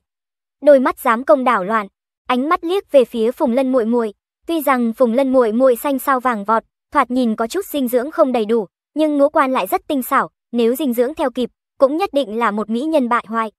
Bởi vậy, giám công này liếc mắt một cái liền coi trọng, thậm chí không có hảo ý. Không, ta nhất định phải trở về, cùng lắm thì ta không cần tiền công. Phùng Lân ngữ khí rất kiên định. Ha ha, ngươi còn muốn tiền công? Hiện tại không phải là vấn đề ngươi muốn không muốn tiền công nữa, mà là vấn đề ngươi có thể đi hay không. Giám công hung tận nói, muội muội, đi nhanh đi. Phùng Lân vội vàng đẩy muội muội đi, chỉ tiếc bị giám sát bắt được. Giám công cao lớn vạm vỡ, thậm chí còn luyện một ít ngoại công thô thiển ở Thiên Hà Bang. Đừng nói chỉ là một thiếu niên 13-14 tuổi dinh dưỡng không đầy đủ. Cho dù là thợ mỏ khôi ngô cũng chưa chắc có thể đánh thắng được giám sát. Muội muội, Phùng Lân vọt mạnh tới, nhưng lại bị giám công tát một cái ngã nhào trên mặt đất. Tiểu tử không biết sống chết, ngươi cho rằng nơi này là nơi nào? Hãy để đại gia cao hứng, nếu không, ngươi và muội muội ngươi đừng mong sống sót rời khỏi mỏ. Giám công vẻ mặt hung tợn, lập tức lại một phát bắt được Phùng Lân muội muội đi vào trong phòng. Muội muội, Phùng Lân nằm trên mặt đất, trên cánh tay nổi đầy gân xanh. Thậm chí con mắt cũng biến thành màu đỏ máu, hiện đầy tơ máu. Đáng chết, các ngươi đều đáng chết. Trong mắt Phùng Lân dường như bao trùm lên một tầng huyết sắc quang mang, ánh mắt hắn nhìn tới, tất cả đều là một mảnh huyết sắc. Đầu hắn đột nhiên trở nên vô cùng đau đớn, quả thực đau đớn muốn nứt ra, giống như có thứ gì đó trong đầu, nổ tung. Một cỗ chấn động vô hình lấy Phùng Lân làm trung tâm, trùng trùng điệp điệp khuếch tán ra bốn phương tám hướng. Dù là ngay cả bản thân Phùng Lân cũng không biết đây là chuyện gì xảy ra. Nhưng hiện tại hắn vô cùng hận, hận chết người nơi này. Ông, dao động vô hình lướt qua khoảng cách mấy chục trượng, tất cả mọi người ở trong phạm vi này, biểu cảm trên mặt bỗng nhiên động lại, trong ánh mắt từng người lộ ra vẻ vô cùng hoảng sợ. Giống như có chuyện gì khủng bố, để bọn họ kinh hãi muốn chết. Bịch, một gã giám sát ngã xuống, sau đó là càng nhiều giám sát hơn, cho dù là những thợ mỏ kia, cũng đều không hiểu nguyên một đám ngã xuống, trên người mất đi tất cả khí tức sinh mệnh. Bọn họ đều đã chết. Tên giám công ôm lấy Phùng Lân muội muội, tựa hồ cảm giác được cái gì, mạnh mẽ xoay người, ánh mắt hoảng sợ nhìn Phùng Lân. Ngươi, ngươi, bịch, người này thân thể cường tráng, thậm chí còn luyện một ít ngoại công thô thiển, cuối cùng cũng cắm đầu xuống đất, triệt để mất đi khí tức sinh mệnh. Cho dù là muội muội của Phùng Lân, giờ khắc này cũng mở to hai mắt, thần sắc ngưng kết, giống như không thể tin được một màn trước mắt mình. Nàng cũng theo giám sát cùng ngã xuống đất, mất đi khí tức sinh mệnh. A, Phùng Lân thấy một màn này, thống khổ ngửa mặt lên trời gào thét, cả người như điên như dại, chạy vào sâu trong mỏ quặng. Những nơi đi qua, tất cả mọi người đều giống như tượng gỗ, nhào nhào ngã xuống đất. Trong nháy mắt, một tòa quặng mỏ to như vậy biến thành một mảnh tĩnh mịch, chỉ để lại thi thể đầy đất. Thần lục quốc, tổng bộ ma cung, ai có thể ngờ được, tổng bộ ma cung khuấy động phong vân thiên hạ lại ở trong một cung điện dưới lòng đất. Không biết đường hầm cơ quan mật đạo, căn bản là không tìm thấy tổng bộ ma cung. Báo, ma cung có mấy vị cung chủ, nhưng nếu luận cung chủ thực lực mạnh nhất, thần bí nhất, vậy không phải đại cung chủ thì không còn ai khác. Thậm chí ngay cả rất nhiều thành viên ma cung cũng không biết thân phận thật sự của đại cung chủ. Chỉ biết là, đại cung chủ sâu không lường được, thân phận thành bí ẩn. Một tay thành lập ma cung, giờ phút này, trong tay đại cung chủ có một phần tình báo, là tình báo khẩn cấp liên quan tới Hỏa La quốc. Đại cung chủ mở ra tình báo, tuy rằng mang mặt nạ, không cách nào thấy rõ biểu tình của đại cung chủ, nhưng từ bàn tay run rẩy của đại cung chủ, lại có thể nhìn ra giờ phút này trong lòng đại cung chủ kích động đến cỡ nào. Hỏa La quốc, Thiên Hà quận, có thể là giác tỉnh giả xuất hiện. Trăm người trên khoáng sơn của Thiên Hà bang chết oan chết uổng. Đại cung chủ thấp giọng lẩm bẩm, đây là nội dung đại khái của tình báo. Giác tỉnh giả, đại cung chủ vẫn luôn chú ý bất luận tin tức gì liên quan tới giác tỉnh giả, bây giờ, thật có tin tức. gì Điệp, các người trốn lâu như vậy, vẫn không thể trốn tiếp được sao? Vừa mới thức tỉnh, lực lượng thần niệm đã có thể giết chết hơn trăm người. Đây chính là thiên phú thượng đẳng. Đại cung chủ đột nhiên xé toang tình báo, lập tức phân phó, để Thanh Mộc cung chủ đi Thiên Hà quận Hỏa La quốc một chuyến, nhất định phải đưa di tộc vừa mới thức tỉnh này về Thánh cung. Vâng, đại cung chủ. Trong lòng đệ tử Thánh cung dùng mình, lập tức lui xuống. Thời gian chậm rãi nhoáng một cái, lại một tháng trôi qua. Lôi đạo ở trong hoàng cung đã chán đến chết rồi. Gần như lôi đạo đã nhớ kỹ toàn bộ võ công trong kho bí mật, thậm chí hắn còn có lòng dạ thanh thản thử luyện tập một chút. Luyện tập những ngoại công hoặc nội công bình thường này, lôi đạo đã không cần dùng dị năng đi tăng lên, lấy tinh lực chi hoa hắn ngưng tụ, thành tựu kim cương bất hoại thân thể khủng bố, luyện tập ngoại công hoặc là nội công quả thực giống như chơi. Chỉ có điều, những nội công hoặc ngoại công này, cho dù bị lôi đạo luyện đến đại thành, cũng căn bản không có tác dụng gì. Cho dù có ngoại công hoặc nội công mạnh hơn nữa, chẳng lẽ còn có thể khiến thân thể lôi đạo càng thêm cường đại hay sao? Vậy căn bản cũng không có khả năng, kim cương bất hoại, còn có thể tăng cường thế nào? Điều này giống như luyện tập khí công lôi đạo, có nguyên khí chi hoa, bất kỳ nguyên khí nào được nuôi dưỡng ra đều sẽ bị nguyên khí chi hoa thôn phệ. Bởi vậy, thực lực lôi đạo bây giờ, đích xác đã đến một cái bình cảnh, tiến không thể tiến. Lôi đạo điều động dị năng, kiểm tra số liệu thân thể một chút. Họ tên, lôi đạo, 19 tuổi, tuổi thọ, 55 năm, 11 tháng, ngoại công, tổng cộng tiêu hao 39 năm một tháng tuổi thọ, không thể trồng ngoại công. Kim thân công, không thể trồng lên, thập trồng 21 môn công. Nội công, tổng cộng tiêu hao 14 năm thọ mệnh, không thể trồng lên nội công. Bất hủ công, không thể trồng lên, thập lên hai môn nội công. Khí công, tổng cộng tiêu hao 63 năm tuổi thọ, không thể trồng khí công. Tiên nguyên công, không thể trồng lên, thập lên 4 môn khí công. Các loại thuộc tính của lôi đạo vẫn không có bất kỳ biến hóa nào. Bất luận là kim thân công hay bất hủ công, hay là tiên nguyên công, đều không có bất kỳ biến hóa nào, không cách nào tăng lên nữa. Chỉ là tuổi thọ vẫn luôn giảm bớt, lôi đạo khác với những người khác. Những người khác ngơ ngơ ngác ngác, không biết tuổi thọ của mình còn lại bao nhiêu, bởi vậy, dù qua vài năm cũng sẽ không có bất kỳ cảm giác cấp bách. Nhưng lôi đạo thì khác, hắn có dị năng, hắn có thể thời khắc nhìn thấy tuổi thọ giảm bớt. Vốn lôi đạo cho rằng hắn có thể thản nhiên sống hết kiếp này, nhưng hắn sai rồi. Mỗi ngày hắn nhìn tuổi thọ giảm bớt, dù chỉ vẻn vẹn có một ngày, trong lòng của hắn liền rất đau rất đau, phảng phất như có thứ gì đó đặc biệt chân quý mất đi. Lúc này lôi đạo mới tỉnh ngộ, thì ra, hắn còn lâu mới thản nhiên như trong tưởng tượng của hắn. Cho dù hắn còn có hơn 50 năm tuổi thọ, nhưng nhìn tuổi thọ ngày càng giảm bớt, hắn liền có loại cảm giác vô cùng cấp bách. Trong khoảng thời gian này, lôi đạo ngoại trừ ở trong kho bí mật, cũng đang chú ý tình huống của cự liễu quốc. Thần toán tử dịch tương đích xác là đại tài, trong thời gian ngắn liền lợi dụng đại nghĩa, không ngừng thảo phạt những thế lực không phục kia. Một bên lại các loại biện pháp lôi kéo, trấn an. Bởi vậy, lúc này mới ngắn ngủn hơn một tháng thời gian, cự liễu quốc liền triệt để bình tĩnh lại, tựa hồ thế lực khắp nơi cũng đều tiếp nhận loại thế cục trước mắt này. Thế cục bình tĩnh lại, dịch tướng cũng có thể điều động lực lượng của cự liễu quốc, đi thần lục quốc thậm chí quốc gia khác, thu thập càng nhiều tình báo. Đáng nhắc tới chính là, lôi đạo lại bị dịch tướng, hoặc nói là trên danh nghĩa triều đình cự liễu quốc, gắn lên một cái danh hiệu hộ quốc đại tông sư. Địa vị thậm chí ngang hàng với hoàng đế, ở toàn bộ nước cự liễu có địa vị cao thượng. Dù sao, hiện tại địa vị của lôi gia bảo còn có một chút xấu hổ, ở trong bóng tối, ai cũng biết lôi gia mới là người thống trị thực tế của toàn bộ cự liễu quốc, nhưng bên ngoài thì sao? Rất nhiều người bình thường không biết lôi gia, càng không biết lôi đạo. Cho lôi đạo an một danh hiệu, hộ quốc đại tông sư, như vậy, vậy thì không giống, mặc cho ai cũng biết lôi đạo quyền thế ngập trời, địa vị tôn sùng.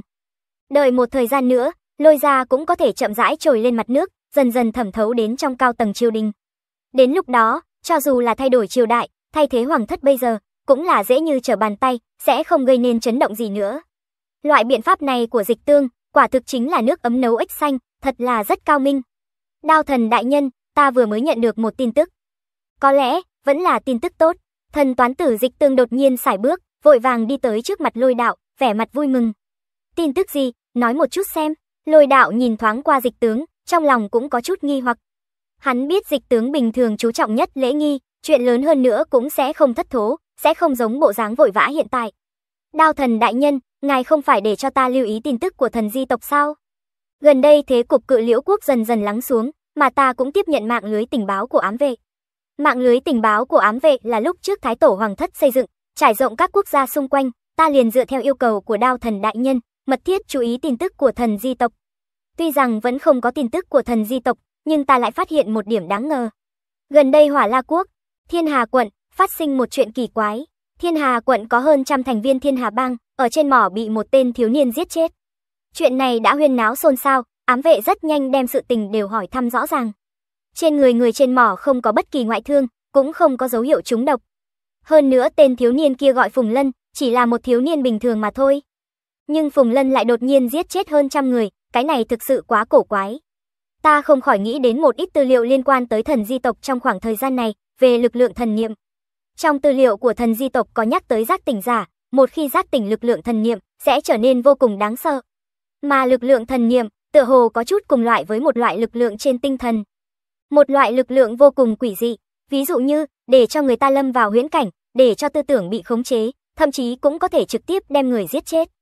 Bởi vậy, thuộc hạ lớn mật suy đoán, vị thiếu niên gọi là Phùng Lân kia, vô cùng có khả năng là một vị giác tỉnh giả thần di tộc, vừa mới thức tỉnh lực lượng thần niệm, bởi vậy mới không bị khống chế, giết chết hơn trăm người trong mò. Nghe thần toán tử dịch phân tích đâu vào đấy, trong mắt lôi đạo cũng chớp động tinh mang. Trong khoảng thời gian này, Dịch Tương cũng cảm thấy rất hứng thú đối với thần di tộc, bởi vậy đặc biệt góp nhặt rất nhiều tư liệu. Mặc dù thần di tộc rất thần bí, nhưng không chịu nổi Dịch Tương điều động toàn bộ lực lượng của cự liễu quốc đi điều tra. Huống chi, thần di tộc dù thần bí, nhưng chỉ cần thần di tộc còn ở trên thế giới này. Vậy thì ít nhiều gì cũng sẽ lưu lại một chút dấu vết. Điều này cũng làm cho dịch tướng thu thập được càng nhiều tư liệu. Những tài liệu này trải qua dịch tướng chỉnh lý và phân tích, cũng làm cho lôi đạo dần dần có càng nhiều hiểu biết đối với thần di tộc. Không thể không nói, ở phương diện này, có dịch tướng trợ giúp thật sự là quá dễ dàng. Thông qua dịch tướng chỉnh lý, lôi đạo cũng dần dần biết được thần di tộc. Cái gọi là thiên phú, đó kỳ thật chính là lực lượng thần niệm.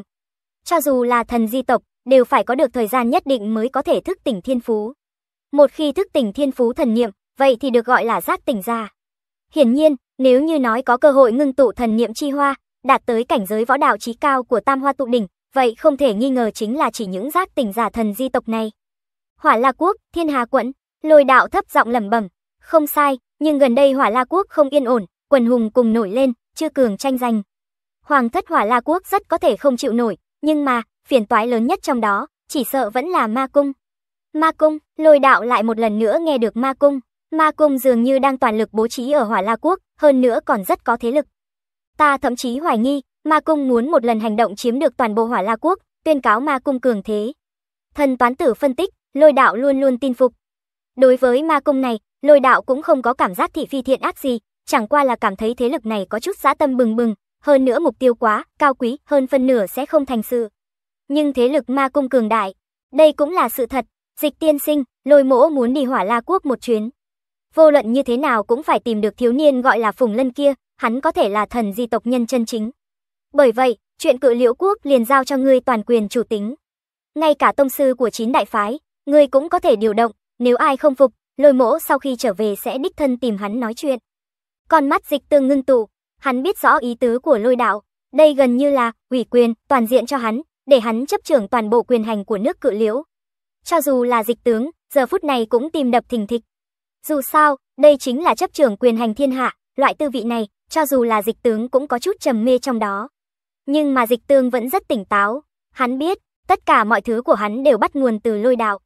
Nếu không có lôi đạo ủng hộ, cho dù hắn là thần toán tử, cùng lắm cũng chỉ là một mưu sĩ mà thôi, sao có thể giống như hiện tại, có thể nắm giữ quyền hành thiên hạ. Tạ đao thần đại nhân, ta sẽ ở nước cự liễu chủ tính toàn cục, mật thiết chú ý tin tức thần di tộc, chỉ cần có bất kỳ tin tức gì, đều sẽ thông qua ám vệ thông báo đao thần đại nhân trước tiên.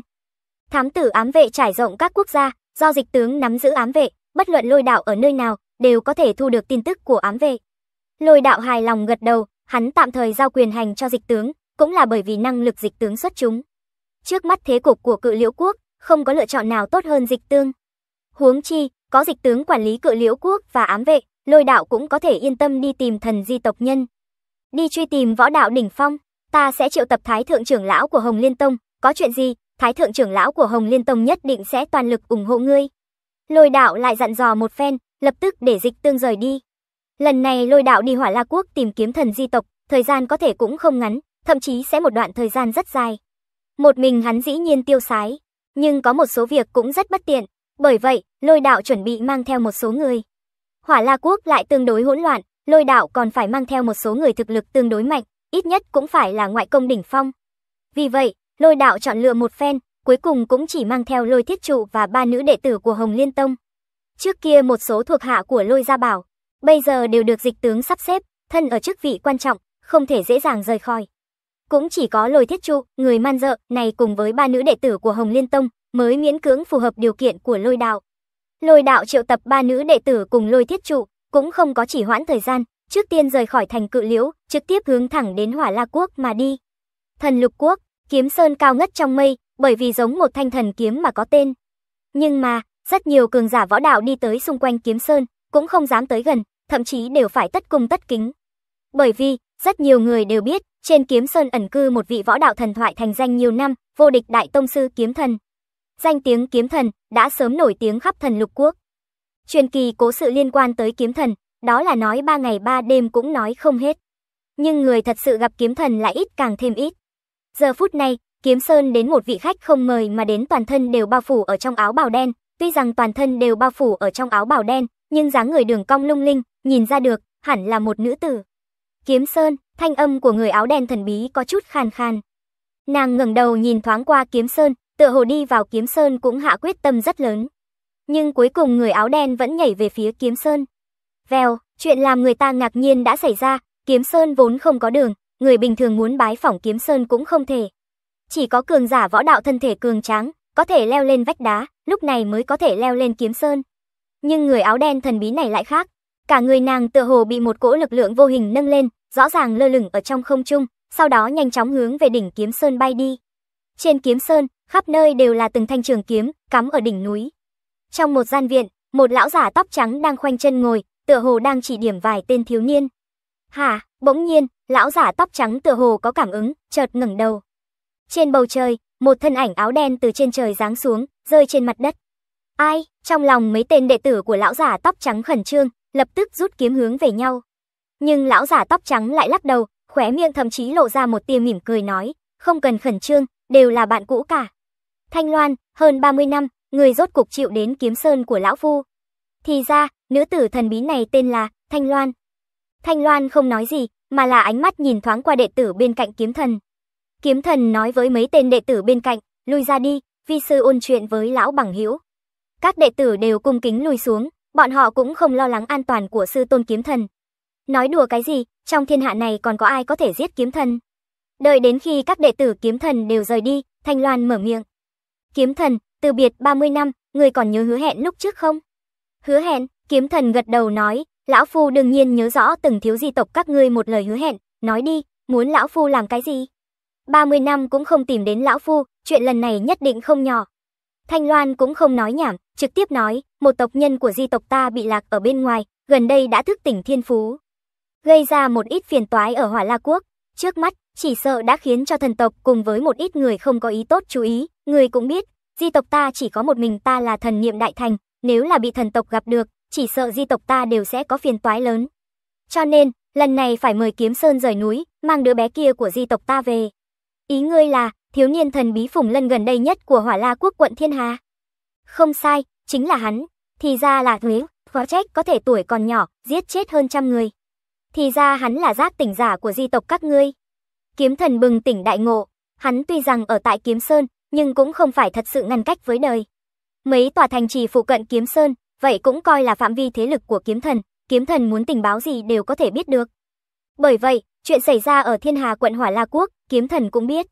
Thanh Loan, di tộc các ngươi trốn đông trốn tây, những năm này chỉ sợ càng thêm gian nan đi.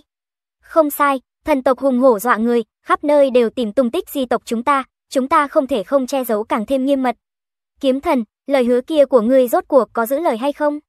Làm số, đương nhiên là làm. Chỉ là, Thanh Loan, ngươi hẳn là hiểu rõ, hứa hẹn này của lão phu quan trọng tới cỡ nào. Đó là một tấm bùa hộ mệnh cuối cùng có thể bảo vệ di tộc các ngươi không bị thần tộc tiêu diệt. Ngươi chỉ vì một giác tỉnh giả, đem hứa hẹn của lão phu dùng hết. Có đáng giá hay không?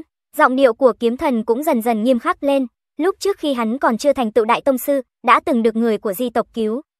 Cũng chính là Thanh Loan trước mắt cứu, vì thế, kiếm thần đã từng làm ra hứa hẹn, tương lai người của di tộc có thể để cho hắn làm một chuyện, dù là khó khăn hơn nữa, hắn cũng sẽ đi làm, cho dù là liều mạng.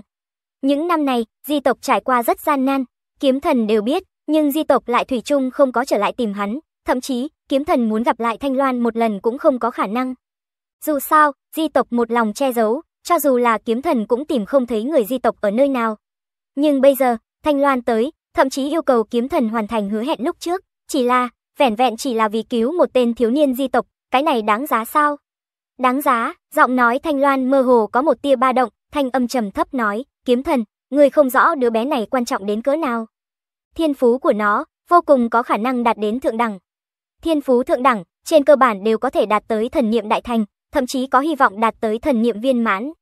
Chỉ có chân chính đạt đến thần niệm viên mãn, di tộc chúng ta mới không cần sợ hãi thần tộc, không cần trốn đông trốn tây, cho nên, nó thật sự rất quan trọng. Kiếm thần, nếu ngươi thật sự còn nhớ rõ hứa hẹn kia, xin dốc hết toàn lực, mang đứa nhỏ kia về đi. Thiên phú thượng đẳng, kiếm thần trầm mặc hồi lâu, hắn đã từng tiến vào thôn của di tộc, tự nhiên biết giác tình giả của di tộc đạt tới thiên phú thượng đẳng là hiếm thấy biết bao. Khó trách ngay cả Thanh Loan cũng sẽ tự mình tới gặp hắn. Kiếm thần hít một hơi thật sâu, nhìn Thanh Loan thật sâu nói, Thanh Loan, người yên tâm, lão phù nhất định sẽ tuân thủ hứa hẹn. đem hết toàn lực đem cái kia thiếu niên di tộc bình an mang về di tộc. Được, có kiếm thần đại danh đỉnh đỉnh ra tay, vậy nhất định không có vấn đề, ta sẽ âm thầm quan sát, chỉ cần ngươi cứu được đứa bé kia, ta sẽ lập tức tìm được ngươi, sau đó mang theo đứa bé kia rời đi, thần tộc cũng không tìm được. Lão Phu biết rồi, Thanh Loan gật đầu, đang muốn rời đi thì thần sắc kiếm thần có chút phức tạp. Bỗng nhiên mở miệng nói, Thanh Loan, hơn 30 năm rồi, Lão Phu có thể nhìn ngươi thêm lần nữa hay không? Thanh Loan cả người cứng đờ, nàng không xoay người, mà nhẹ giọng nói, kiếm thần, lão bà tử đều đã hơn trăm tuổi, còn có cái gì đẹp mắt? Kiếm thần không nói gì, không khí của hai người có chút trầm mặc. Thật lâu sau, Thanh Loan thở dài một tiếng, dường như cũng không đành lòng. Nàng mở khăn che mặt, lộ ra một khuôn mặt tuyệt đẹp. Tuy rằng thoạt nhìn tuổi tác tựa hồ có chút lớn, bộ dáng đại khái khoảng 3-40 tuổi, nhưng khí chất xuất trần, vẫn làm cho Thanh Loan có một loại vẻ đẹp kinh tâm động phách. Kiếm thần nở nụ cười, chỉ là, trong lòng của hắn có chút khổ sở, thấp giọng nói, Thanh Loan, ngươi nhìn qua vẫn còn trẻ như vậy, nhưng lão phù đã sớm già rồi. Tộc nhân của các ngươi có thể thoải mái sống hơn 100 tuổi, người thần niệm đại thành, càng có thể sống đến gần 200 tuổi. Nhưng lão phu chỉ sợ đại nạn ngay tại đây hai ba mươi năm rồi. Kiếm thần cũng có trên trăm tuổi, thậm chí hơn 120 tuổi. Hắn có thể cảm giác được trong cõi u minh, đại nạn của hắn sẽ tới gần, đại khái cũng chỉ khoảng 150 tuổi. Đại tông sư bình thường, cũng chỉ có tuổi như vậy, trừ phi lực khí công vô cùng đặc thù, có thể kéo dài tuổi thọ, nếu không, muốn sống thời gian dài hơn, căn bản là không có khả năng. Kiếm thần, sống lâu thì có ích lợi gì? Ngươi uy chấn thiên hạ, chính là võ đạo đại tông sư, cả đời đã đủ đặc sắc, ngươi nên thỏa mãn. Thanh Loan một lần nữa đeo mạng che mặt trở về, sau đó thân thể dần dần treo trên bầu trời, bay lên bầu trời. Chuyện của đứa bé kia, liền nhờ kiếm thần, thân ảnh Thanh Loan trong nháy mắt bay xuống dưới núi, trong chớp mắt đã biến mất không thấy bóng dáng. Kiếm thần ngơ ngác nhìn bóng lưng Thanh Loan biến mất, thấp giọng lẩm bẩm nói, đúng vậy, cả đời này của lão phu đã đủ đặc sắc, chỉ là, vẫn còn tiếc nuối. Kiếm thần thở dài một tiếng, tiếc nuối của hắn, chính là lúc trước bỏ lỡ Thanh Loan. Cho dù hắn là đại tông sư vô địch, thần thoại võ đạo cũng bất lực. Thôi, Thanh Loan, đây là chuyện duy nhất ngươi cầu lão phu. Đứa bé kia, lão phu nhất định sẽ mang nó về. Thần tộc, cho dù các ngươi cũng mơ tưởng từ trong tay lão phu mang đứa bé kia đi. Sau một khắc, khí thế trên người kiếm thần ngất trời, giống như một thanh tuyệt thế thần kiếm, làm người ta sợ hãi. Hỏa La Quốc, Thiên Hà quận, Lôi đạo mang theo thiết trụ cùng với ba nữ đệ tử Hồng Liên Tông, một đường phong trần mệt mỏi, dùng thời gian nhanh nhất chạy tới quận thành Thiên Hà. May mắn thiết trụ và ba nữ đệ tử Hồng Liên Tông đều là ngoại công đỉnh phong, nếu không thật đúng là không nhất định có thể chịu đựng được điên cuồng chạy đi như vậy. Trong khoảng thời gian này, lôi thiết trụ có thể nói là tiến bộ kinh người. Bản thân thiết trụ chính là người man dợ thiên phú dị bẩm, tố chất thân thể tốt tới cực điểm, lại được dịch tướng dạy một ít văn tự. Lôi đạo lại truyền thụ cho thiết trụ một ít ngoại công và nội công, rất nhanh thiết trụ đã đạt đến ngoại công đỉnh phong, đồng thời bắt đầu rèn luyện nội phù. Dựa theo tốc độ tiến bộ của thiết trụ, sợ rằng nhiều nhất một năm là có thể bước vào cực hạn của cơ thể con người. Một khi bước vào cực hạn của cơ thể con người, với một thân man lực của lôi thiết trụ, chỉ sợ thiết trụ có thể lập tức trở thành một trong những cực hạn mạnh nhất của cơ thể con người. Thậm chí, nếu lôi đạo lại truyền thụ khí công của thiết trụ, thiết trụ hao phí mấy chục năm chậm rãi dưỡng khí, chưa chắc không thể thành tựu cảnh giới tông sư, thậm chí có một ngày trở thành đại tông sư cũng không phải không có khả năng. Nơi này chính là Thiên Hà quận. Ừm, dựa theo tình báo của ám vệ, sự kiện quặng mỏ Thiên Hà bang phát sinh cách đây không lâu, chuyện lớn như vậy, chỉ sợ là mọi người đều biết. Trước tiên tìm khách sạn hỏi thăm một chút tin tức, lôi đạo nhìn quận thành Thiên Hà, trong lòng đã có dự định. Quận thành Thiên Hà này nói phồn hoa, kỳ thật cũng không tính là phồn hoa. Nhưng thật ra gần Thiên Hà, bến tàu đông đảo, miễn cưỡng là thương mậu phồn vinh. Chỉ là Hỏa La quốc chiến loạn không ngớt, dẫn đến thương mại giảm bớt rất nhiều. Lôi đạo đi tới trong khách sạn, tìm một vị trí gần cửa sổ ở lầu 2, gọi một ít rượu và thức ăn, chuẩn bị uống vài chén rượu trước, lại tìm tiểu nhị hỏi chuyện mỏ quặng thiên hà bang. Bỗng nhiên, lôi đạo nhìn thấy bên ngoài khách sạn, có một lão giả tóc trắng. Cùng với bốn thiếu niên tuấn Mỹ trẻ tuổi, trên người đều đeo bảo kiếm hoa lệ, đang chuẩn bị tiến vào khách sạn. Bá, ánh mắt lôi đạo dường như khiến lão giả có cảm giác. Lão giả ngẩng đầu, ánh mắt và ánh mắt lôi đạo chạm vào nhau. Hả, lôi đạo có chút kinh ngạc, hắn rất nhanh liền thu hồi ánh mắt, lão giả kia cũng đồng dạng thu hồi ánh mắt. Nhưng vừa rồi lôi đạo đã xác nhận ánh mắt, lão giả này hẳn là rất mạnh. Tuy rằng bề ngoài rất khó nhìn ra, nhưng lôi đạo thân là thần thoại võ đạo, trực giác sẽ không sai. Hắn có thể cảm giác được, lão giả này rất mạnh, chỉ một ánh mắt cũng có thể cảm nhận được một chút manh mối. Ít nhất cũng là cực hạn của cơ thể con người, thậm chí là tông sư. Hỏa La quốc cũng không phải thần lục quốc, Tuy rằng cường giả võ đạo nhiều hơn một chút, mạnh hơn cự liễu quốc một chút. Nhưng cũng không mạnh đến mức này chứ. Tùy hiện trên đường cũng có thể đụng phải một vị cường giả thân thể cực hạn, thậm chí tông sư. Lôi đạo cảm thấy rất kinh ngạc.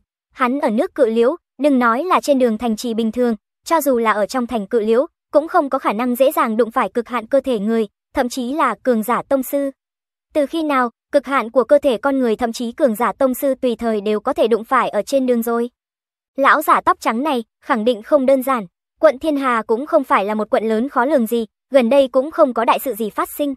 Đại sự duy nhất, có lẽ chính là chuyện của mỏ Thiên Hà Bang. Chẳng lẽ cũng là vì thiếu niên thần di tộc kia mà đến?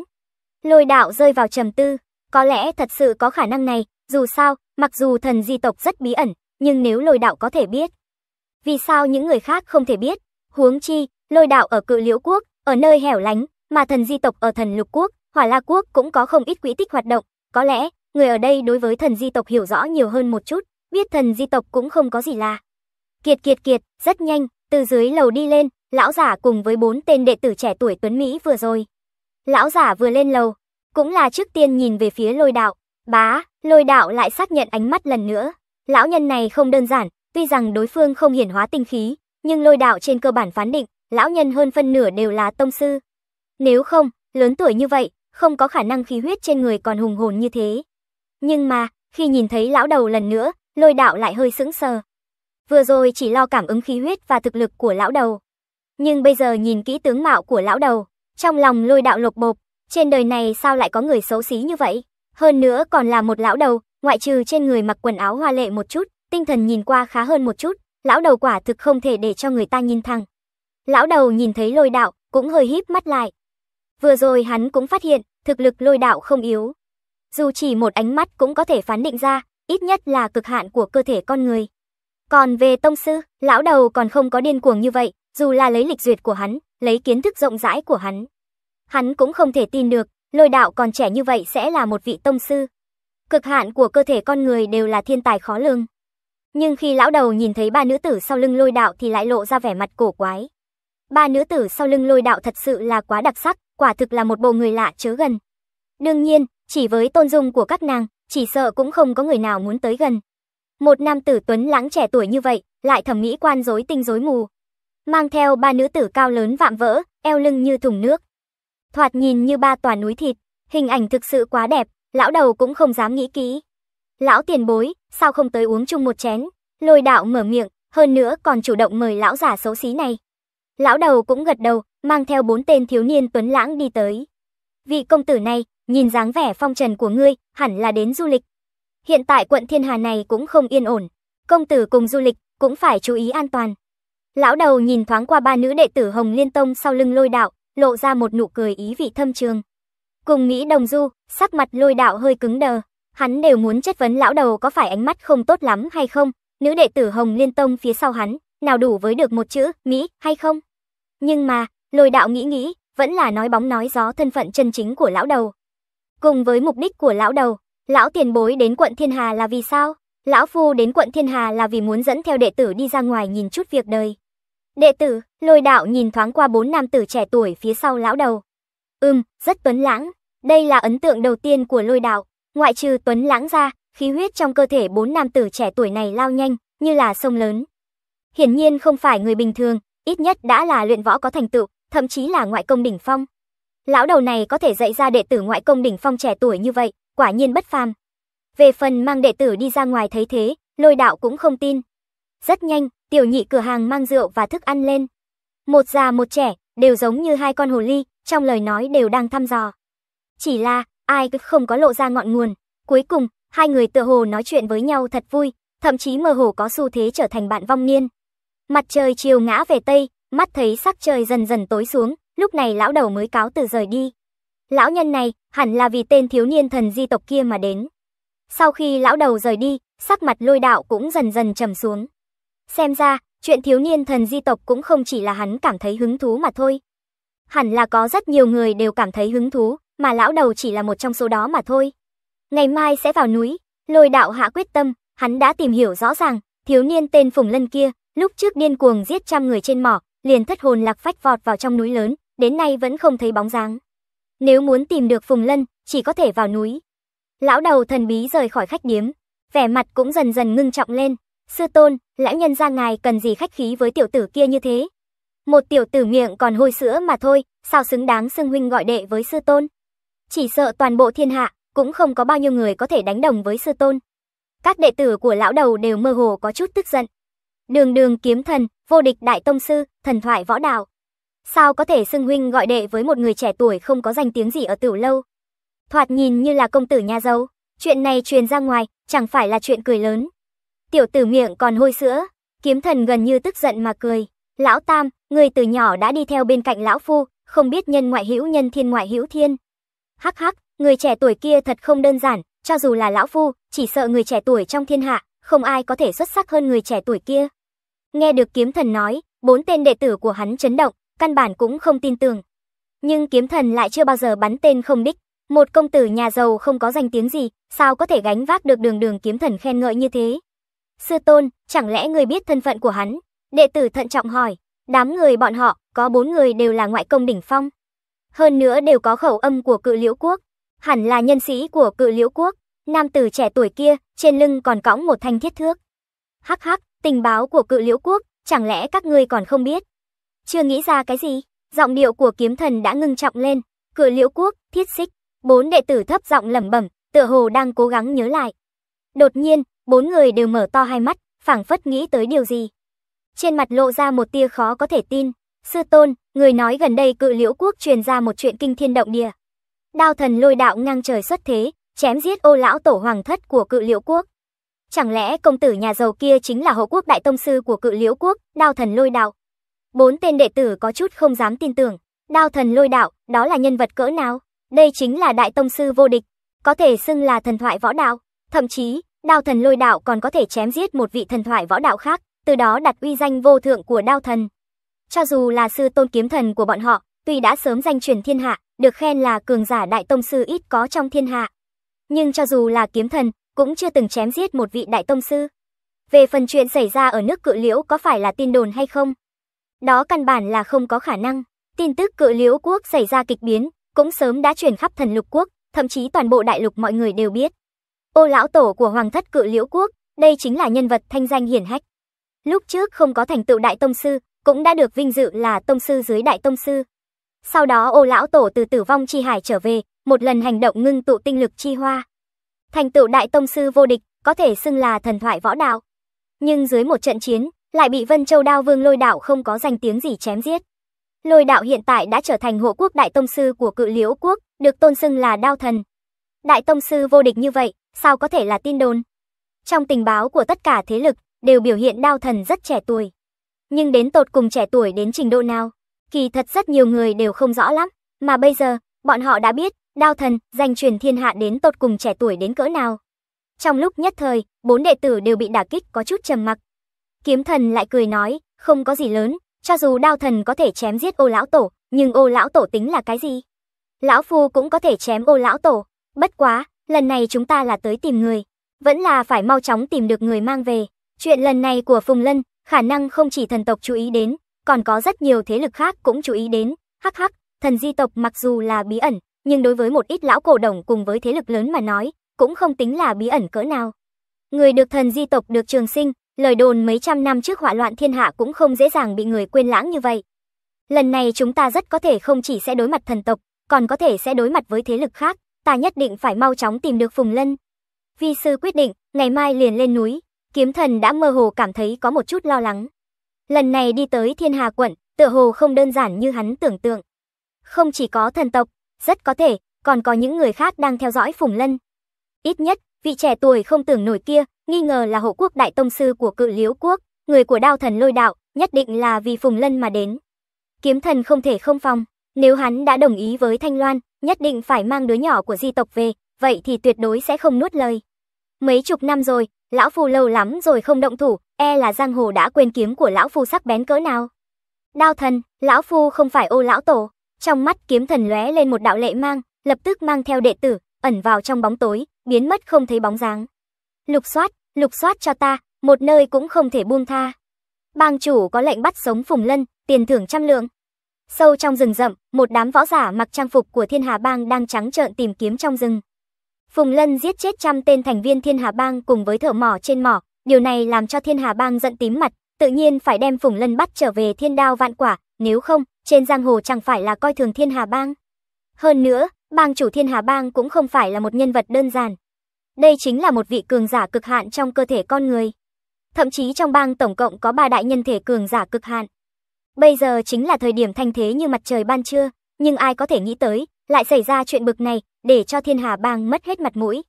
Thiên Hà Bang há có thể tha cho Phùng Lân, lần này, bang chủ trong Thiên Hà Bang cùng với hai vị phó bang chủ, đây chính là tất cả đều tự mình đi tới trong núi, đốc thúc Thiên Hà Bang tìm kiếm Phùng Lân. Lúc này, phía sau Thiên Hà Bang đang có một nhóm đông nhân mã nghỉ ngơi và hồi phục. Bang chủ, chúng ta đã tìm kiếm nhiều ngày như vậy, Phùng Lân kia chỉ sợ đã chết, dù sao trong núi rừng dã thú đông đảo, hoàn cảnh ác liệt, một thiếu niên 13-14 tuổi, làm sao có thể sinh tồn trong núi rừng. Phó bang chủ trầm giọng nói, hắn cảm thấy động can qua lớn như vậy thật sự không có bất cứ cần thiết gì. Một thiếu niên 13-14 tuổi mà thôi, huống chi, thiếu niên này có thể giết chết hơn trăm người. Chuyện này thật sự là lộ ra tà tính, không nên truy cứu đến cùng. Nhưng bang chủ thiên hà bang lại cười lạnh một tiếng nói, chỉ là một phùng lân, đã dám giết thành viên trong bang ta, còn có trên quạng mỏ trăm tên thợ mỏ, nếu như không đem phùng lân bắt trở về thiên đao vạn quả, thì làm sao thể hiện uy nghiêm của thiên hà bang ta. Đừng quên, hiện tại kim thủy phái chính là đang nhìn chằm chằm vào thiên hà bang chúng ta. Phó bang chủ cũng dùng mình, xác thực, đừng nhìn hiện tại thiên hà bang giống như uy phong lẫm liệt không ai bị nổi. Nhưng trên thực tế, lại có đông đảo thế lực to lớn nhìn chằm chằm vào địa bàn của Thiên Hà Bang, hơi không cẩn thận, Thiên Hà Bang sẽ gặp phiền toái. Một phùng lân đích thật là việc nhỏ, nhưng nếu để cho thế lực khác cảm thấy Thiên Hà Bang chẳng qua chỉ như thế, có tiện nghi có thể chiếm. Vậy cũng chính là phiền toái lớn. Âm âm, đột nhiên, một trận đất rung núi chuyển, ngay sau đó, một đại đội nhân mã thế mà từ trong núi rừng xuất hiện, đồng thời đem người Thiên Hà Bang vây ở trong đó. Đám người Thiên Hà Bang biến sắc, bọn họ thấy được cờ xí do đội nhân mã này đánh ra, lại là Long Hổ Môn. Bang chủ, là Long Hổ Môn, Long Hổ Môn à, phiền toái rồi, sau lưng Long Hổ Môn này thế nhưng là có một vị tông sư. Thế lực của Long Hổ Môn ở lũng quận xa xôi, sao lại đến Thiên Hà quận? Tuy rằng sắc mặt bang chủ Thiên Hà bang biến hóa, nhưng vẫn cao giọng hô, đối diện là bằng hữu Long Hổ Môn. Ta chính là bang chủ Thiên Hà bang, không biết Long Hổ Môn tới đây vì chuyện gì. Lúc này, trong đám người Long Hổ Môn có một nam tử cao lớn đi ra, hắn nhìn thoáng qua bang chủ Thiên Hà bang, lập tức ngữ khí lạnh như băng nói. Một khắc đồng hồ, mang theo người của thiên hà bang ngươi rời khỏi mảnh núi rừng này, Phùng Lân là người của Long Hổ môn ta. Cái gì, các ngươi cũng muốn tìm Phùng Lân? Bang chủ thiên hà bang mở to hai mắt nhìn, Long Hổ môn đường xa mà đến, hưng sư động chúng, chỉ vì tìm kiếm một thiếu niên 13-14 tuổi. Nên hỏi thì đừng hỏi, Thái thượng trưởng lão Long Hổ môn ta đã tự mình đến nơi này. Nếu các ngươi còn không rời đi, vậy vĩnh viễn cũng đừng đi nữa. Hửm, Thái thượng trưởng lão, bang chủ Thiên Hà bang trong lòng cả kinh, Thái thượng trưởng lão của Long Hổ môn, đó không phải là tông sư sao? Đường đường một vị tông sư, thế mà tự mình tới Thiên Hà quận, chỉ vì tìm Phùng Lân. Phùng Lân này rốt cuộc là ai? Lúc này, trong đầu Thiên Hà bang chủ cũng không khỏi tràn đầy nghi vấn. Ha ha ha, Long lão đầu, chỉ bằng ngươi cũng muốn độc bá chỗ tốt. Bỗng nhiên, từ xa truyền đến một trận tiếng cười sang sảng trung khí mười phần. Bành, ngay sau đó, một tảng đá lớn từ trên trời giáng xuống, một bóng người cũng đột nhiên rơi xuống theo tảng đá.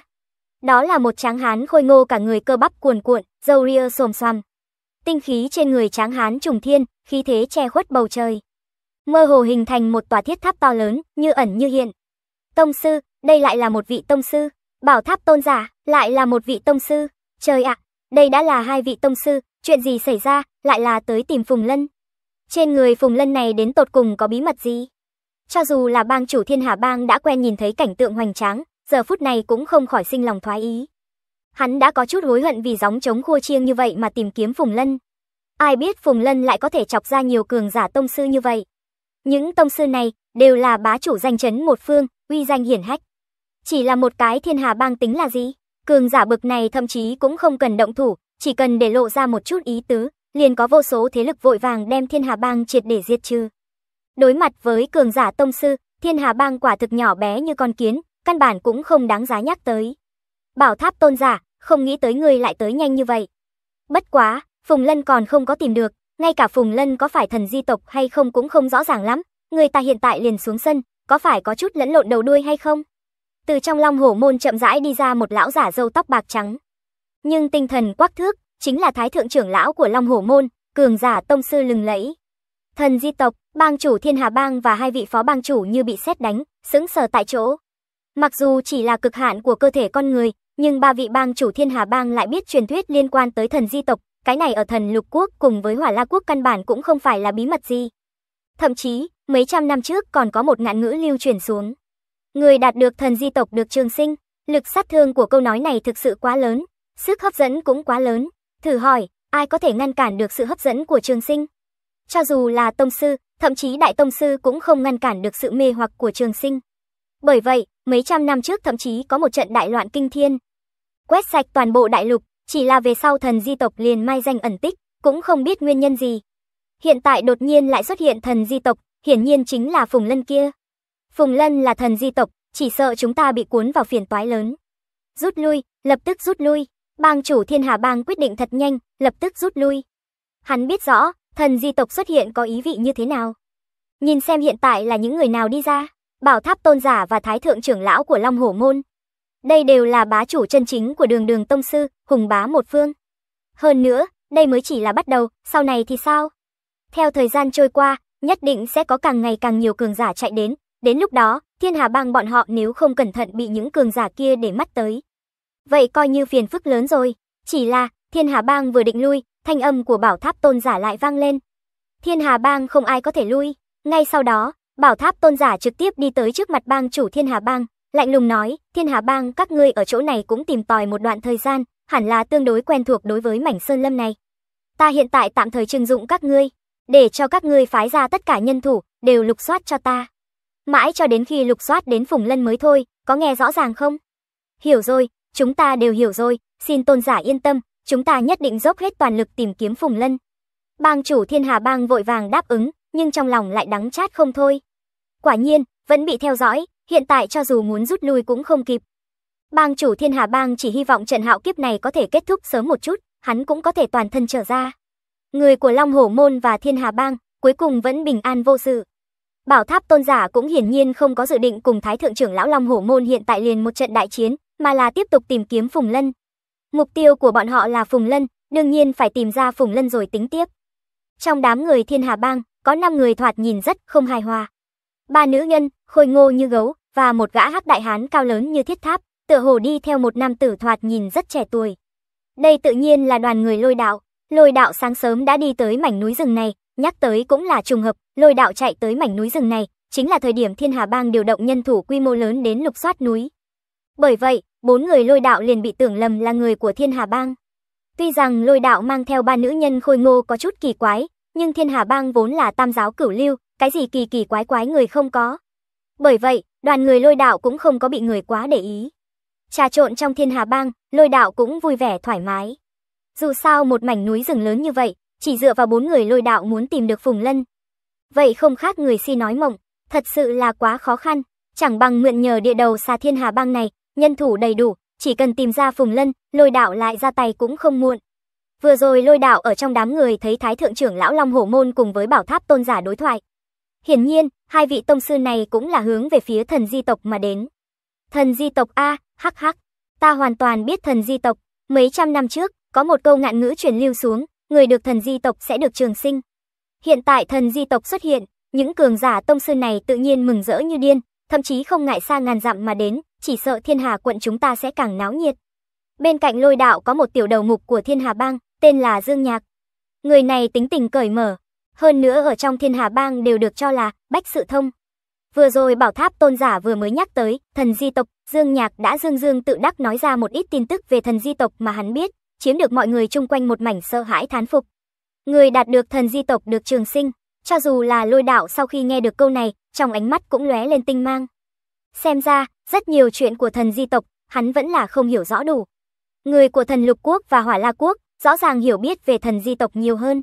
Lôi đạo lại nói bóng nói gió hỏi thăm một phen, nhưng Dương Nhạc cũng chỉ biết chút ra lông, bình thường cũng chỉ khoe khoang một chút, nếu thật sự liên quan tới tin tức bí ẩn, Dương Nhạc cũng không rõ ràng.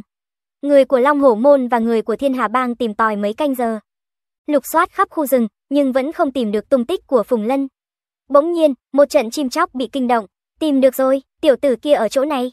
Cẩn thận, tiểu tử này rất có khả năng là thần di tộc, có được lực lượng tà môn. Trong lúc nhất thời, người của Thiên Hà Bang cùng Long Hổ Môn đều sao động, tựa hồ đã tìm được Phùng Lân. Hả, tìm được Phùng Lân rồi? Lôi đạo cũng ngẩng đầu nhìn về phía xa. Hắn và Dương Nhạc cùng nhau vội vàng chạy về phía đó. Rất nhanh, lôi đạo đã thấy được tình huống phía trước. Đó là một mảnh núi rừng nhỏ, bên trong có đống lửa, chính là đống lửa này khiến mọi người chú ý, kết quả tìm được Phùng Lân đang nghỉ ngơi trên cây. Phùng Lân thật sự quá mệt mỏi, coi như hắn thức tỉnh, vậy cũng chỉ là một thiếu niên 13-14 tuổi mà thôi. Trong khoảng thời gian này, Phùng Lân vẫn luôn lẩn trốn, tránh né thiên hà bang lùng bắt. Hơn nữa lúc trước Phùng Lân thức tỉnh, lại lỡ tay giết muội muội ruột của mình, trong lòng lâm vào trong tự trách cực độ, bởi vậy, tâm lực đã sớm lao lực quá độ. Hiện tại trốn trên cây ngủ, không nghĩ tới ngủ tới bây giờ, lại bị người của Thiên Hà Bang phát hiện. Lôi đạo nhìn thấy bang chúng bình thường của Thiên Hà Bang cũng không dám tiến lên. Ở trước người Phùng Lân đã ngã xuống mấy chục cỗ thi thể, toàn bộ đều là mặt lộ vẻ hoảng sợ, mất đi khí tức sinh mệnh. Thần niệm chi lực, lôi đạo nhìn chằm chằm Phùng Lân, đây là lần đầu tiên hắn nhìn thấy lực lượng quỷ dị như vậy. Nếu như Phùng Lân thật sự là thần di tộc, như vậy lực lượng quỷ dị này hẳn là lực lượng thần niệm. Lực lượng thần niệm thuộc về một loại lực lượng tinh thần, có thể khiến người ta sinh ra ảo giác, thậm chí trong lúc vô tình rơi vào tử vong. Mạnh hơn một chút, có thể trực tiếp khống chế tinh thần, trở thành con rối. Hơn nữa lực lượng thần niệm còn có thể di chuyển vật thể, có thể nói là vô cùng kỳ diệu. Chỉ là, trước mắt lôi đạo không nhìn thấy Phùng Lân di chuyển vật thể, có lẽ là lực lượng thần niệm quá yếu ớt, hoặc có lẽ là đối mặt nhiều người như vậy. Di động vật thể căn bản vô dụng. Tóm lại, hiện tại Phùng Lân đang dùng thần niệm lực giết người, hơn nữa vô cùng quỷ dị, tựa hồ là vô giải, đúng, lôi đạo cảm thấy khó giải. Phàm là người tới gần Phùng Lân, hết thảy đều ngã xuống, trên người mất đi bất kỳ khí tức sinh mệnh nào, cứ như vậy vô thanh vô tức chết đi, vô cùng quỷ dị. Nhưng lôi đạo cũng nhận thấy được một chút, dường như thực lực càng mạnh, thì càng có thể tới gần Phùng Lân, mà theo người chết càng ngày càng nhiều, người tới gần cũng càng ngày càng nhiều, sắc mặt Phùng Lân cũng mơ hồ có chút trắng bệch, hiển nhiên, thúc giục lực lượng thần niệm giết người, đối với Phùng Lân mà nói cũng không phải là hoàn toàn không có gánh nặng.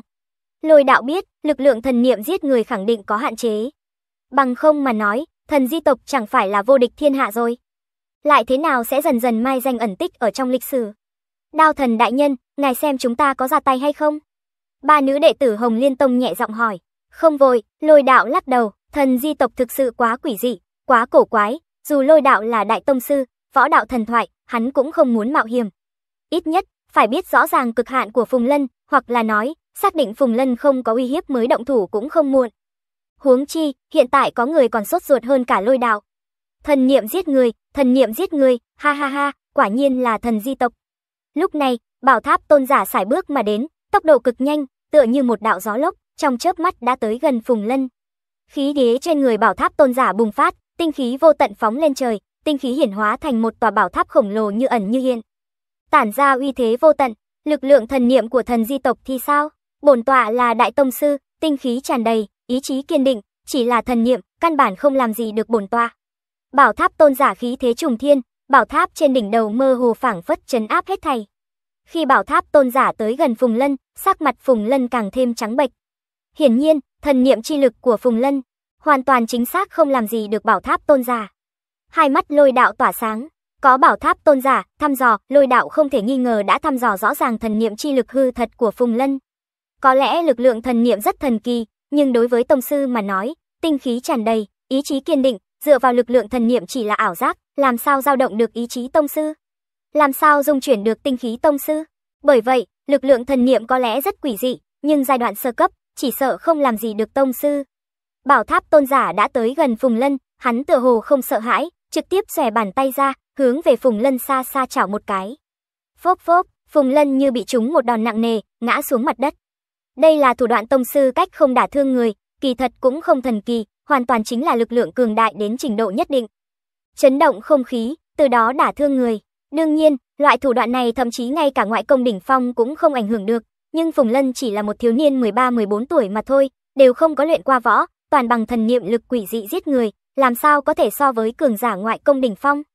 Phùng Lân căn bản không có thể phách cường đại, bởi vậy, bị bảo tháp tôn giả cách không một kích đả thương. Bảo tháp tôn giả, ngược lại là để ngươi tới trước một bước. Bất quá, tiểu tử thần di tộc này cũng không thể giao cho ngươi. Bỗng nhiên, thái thượng trưởng lão của Long Hổ Môn xuất hiện.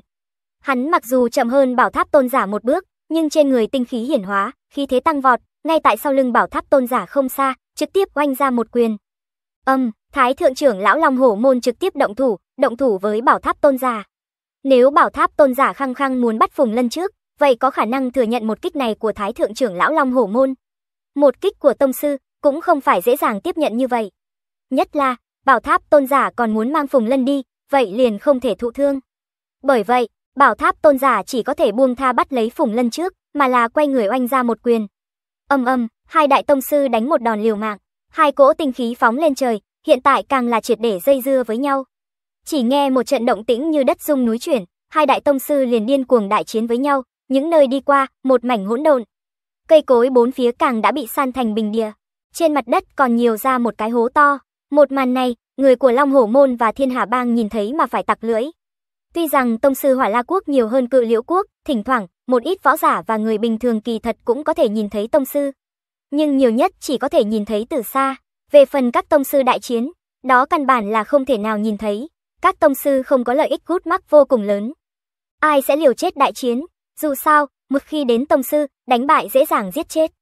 Nếu như chỉ vì một chút mâu thuẫn nhỏ mà động thủ, cho dù đánh bại đối thủ, nhưng nếu đối phương ghi hận trong lòng, cả ngày bị nhìn chằm chằm thì cũng vô cùng phiền phức. Bởi vậy, không có nắm chắc tuyệt đối, trên cơ bản các tông sư cũng sẽ không động thủ. Nhưng bây giờ thì khác, vì thần di tộc, các tông sư không chút do dự.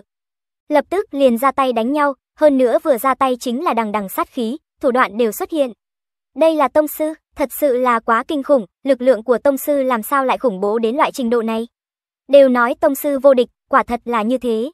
Thái thượng trưởng lão Long Hổ Môn cùng bảo tháp tôn giả, ai có thể hơn một bậc.